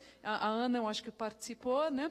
E participa ainda, e como que você realmente dá. Porque no painel anterior também se falava um pouco da capacitação e do treinamento. Né? A gente sabe que o aprendizado através da aula, ele é só parte. Eu realmente preciso muito de diálogo, de interação, de cooperação. E nesse sentido, sejam as redes, sejam os programas de mentoria, eles são fundamentais para poder você achar o seu caminho. Né? Não basta eu ir num treinamento e aprendo a usar lá o programa dos Correios para exportar. Né? Eu tenho um monte de dúvida, eu preciso de encorajamento, e se eu não tenho essas redes de apoio, essas pessoas que eu pergunto, ah, você já exportou? Como que foi exportar? Né? Como que é? Como, com quem que você se apoiou? Quem que você contratou? Né? Então, tudo isso é muito importante. Então, uh, voltando para isso, as empresas têm feito essa parte de incentivar, mas a gente também, com essa plataforma dos princípios, tem incentivado muito as empresas a começar com uma coisa básica. Olhe a sua base de fornecedor, identifique na sua base de fornecedor tem empresas lideradas por mulheres, né? Porque não adianta, não tem uma receita para todo mundo. E na hora que eu peço isso, muitas empresas falam: "Nossa, e não é que eu não tenho nenhuma?" Ou por outro lado, falam: não, eu tenho, porque eu tenho um programa, por exemplo, de comprar de empresas familiares. E entre as empresas familiares de agricultura, de baixa renda, tem várias lideradas por mulheres. Né? Eh, será que esses fornecedores estão crescendo da mesma forma? Será que eu posso dar um incentivo? Né? E, claro, sempre respeitando a competição, sempre respeitando ah, que as ofertas sejam competitivas, mas justas. Né? Mas a gente tem maneiras de inserir na rede. E, às vezes, inserir é simplesmente é, rodada de negócio, a ANA faz, a Apex apoia vários eventos internacionais. Quando eu cadastro na minha base aquelas empresas, eu começo a mandar as minhas ofertas. Ó, oh, eu estou precisando adquirir isso. Você quer mandar uma proposta? Né? E isso faz bem para os negócios, porque eu passo a ter acesso a outros tipos de negócios, a outros tipos de soluções, né? E isso, sei lá, se eu pego o que a gente estava vendo aqui da artéria, né? Provavelmente ela não tem ainda muita escala, mas essa é uma bolsa conceito muito interessante, que se eu sou uma loja aí, uh, uh, que me posiciona no, no, top, eu provavelmente, estando na Inglaterra, ou estando na França, ou estando na Colômbia, em Bogotá, eu provavelmente gostaria de ter alguma bolsa dessas na minha loja. Né? Então, uh, e, eventualmente, a minha loja não precisa ser só dessas bolsas, pode ser de vários lugares do mundo. Né? E assim como a artéria no Brasil, devem ter várias é, é, em pequenas empresas interessantes. Então, acho que isso também dá um diferencial competitivo para a própria ponta final. Né? É fácil? Não, não é fácil. Por exemplo, a Lojas Renner, que é uma empresa signatária e que tem um instituto que trabalha com o empoderamento das mulheres, que é o princípio número 6, né? como eu influencio o meu entorno. Ao, influ... Ao trabalhar o empoderamento econômico de mulheres de baixa renda na cadeia da moda, ela se depara com um monte de produto interessante. Né? Tem uma agora até que é de algodão orgânico, né? Algodão orgânico é uma agenda importante para essas grandes empresas, né? Mas daí quando ela pensa como loja, como é que eu posso inserir esse produto que não tem escala na minha loja, né? São desafios e às vezes você não consegue logo de cara fazer essa inserção, mas tem inúmeras maneiras nesse caminho, desde eu saber para quem que eu estou vendendo até eu chegar lá. E para a gente é muito importante essa união das grandes empresas gerando demanda e tendo essa consciência e das pequenas empresas sendo capacitadas, né? E a gente sempre tendo esse olhar transversal e como estão as mulheres em ambos os casos. Ana, se você puder nos contar um pouco sobre a plataforma B2B que você está lançando e como ela pode ajudar as empresas também a se inserirem nas redes internacionais. Né? Muito bom.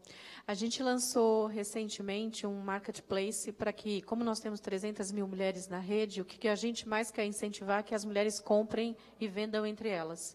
Então, nós lançamos recentemente um marketplace onde elas se cadastram como se fosse um mural e elas podem se conectar entre elas, fazendo buscas para que a gente, de verdade, consiga fomentar os negócios entre as mulheres. Esse é um, é um trabalho que, para a gente, é muito importante. A gente tem trabalhado isso constantemente para que elas consigam colocar as empresas e para que elas consigam comprar entre elas. Além disso, a gente está com um projeto bem bacana, que foi o objeto da, do prêmio da revista Fortune, que é fazer um trabalho de criar uma plataforma de matching para que as mulheres, não só mulheres, tá? Homens são bem-vindos, a gente não é xiita. Assim, para que as mulheres consigam, é, quem tem uma disponibilidade de tempo, consiga ajudar outras mulheres, dando mentoria, encorajando e apoiando. Assim, é, trabalhando tanto tempo com a causa das mulheres empreendedoras, eu gosto muito de falar para as empresas que, não desmerecendo, eu fui mundo corporativo minha vida inteira, a minha vida quase inteira, trabalhei quase 25 anos em grandes corporações. Hoje nós temos, nós estamos vivendo a era da sustentabilidade, dos negócios inclusivos e principalmente a era da causa e do propósito. Então, assim, é, todas as grandes empresas estão buscando uma causa e um propósito para que elas consigam também se conectar com o nosso mundo, né? até que a Adriana falou dos objetivos dos ODS. A causa das mulheres é uma causa, como todas as causas, mas a causa das mulheres tem impacto em outras causas. Tem impacto na educação, tem impacto na melhoria da situação da, das famílias, porque a mulher, quando ela tem um negócio e o negócio dela dá certo, ela não investe nela própria. Ela investe em mudar o filho de escola para melhorar a educação das crianças e ela investe em melhorar a situação da família. Então, acho que isso é super importante para a gente entender a importância de você comprar de uma empreendedora. O que eu falo para as grandes empresas é repetindo um pouco o que a Adriana falou. Você quer uma forma de você ajudar pequenas empreendedoras? Compre das pequenas empreendedoras. Né? ninguém está pedindo para fazer processos de caridade ou filantropia. Se você tiver um processo de acesso dessas mulheres às suas corporações e se você comprar dessas empreendedoras, você já vai estar melhorando muita coisa, porque a gente está dando o que é essencial, que é mercado, né? Que, e ajudando. Que a Adriana falou, a gente faz na rede, a gente ajuda várias empresas que querem implantar projetos de mentoria para sua base de, de fornecedoras ou que não tem uma base de fornecedoras e quer buscar uma base de fornecedoras. Então, isso é super importante, porque você capacita, voltando para o tema, né, capacitação, e, ao mesmo tempo, você ainda vai ter um fornecedor que é bacana ainda trabalha com causa e com propósito. Acho que isso é absolutamente fundamental. Muito bom, obrigada. Helena, eu queria que você contasse para a gente, né, que você é, dissesse quais são as dicas para as micro e pequenas empresas para começar no e-commerce e também como nós, instituições né, que é, estão presentes aqui, podemos ajudar a empresa como a SUS para ter sucesso cada vez maior no mercado internacional. É, eu acho que uma dica é você tem que conhecer o mercado que você quer atingir, porque o e-commerce, é, como o meu, é, não é um marketplace, é uma web store, é uma, é uma loja própria que está em, to, em to, qualquer lugar do mundo ao mesmo tempo em nenhum. Se você não, não souber como chegar até essas pessoas, isso é um desafio, mas assim é, que, que, é muito importante e, e, é muito legal, porque também o, o, o lance do, do e-commerce a gente começou por, por, esse, por esse viés, porque é uma coisa que não demanda tanto dinheiro, tanto investimento do que uma loja física e, e é um mundo de oportunidades. E eu acho que a Apex, todos os órgãos, eles é, podem, podem ajudar, ajudando, capacitando, dando mais informação, é, deixando esse caminho entre a gente e eles curto e fácil, assim, porque isso ajuda muito, porque é muitas dúvidas, são muitas dúvidas, são muitos é, questionamentos quando você está fazendo as coisas e às vezes ter isso próximo ajuda muito. É, a gente te, teve essa ajuda com os correios é, e, e, todo o outro resto, sei lá, foi muito importante para a gente, para poder saber como fazer e tudo. É, e é isso, eu estou disponível também, se alguém precisar e quiser tirar alguma dúvida. Bom, com as palavras da Helene, nossa cliente, né, de todos nós aqui, você representa exatamente as empresas que a gente quer que tenham sucesso no export, no Mulheres na Exportação. Agradeço muito a você, a todas vocês, parceiras, né? e agradeço ao público que nos ouviu né, e participou. Eu queria, então, é, encerrar né, o nosso, a nossa participação aqui e passar a palavra para a nossa mestre de cerimônias. Obrigada, gente.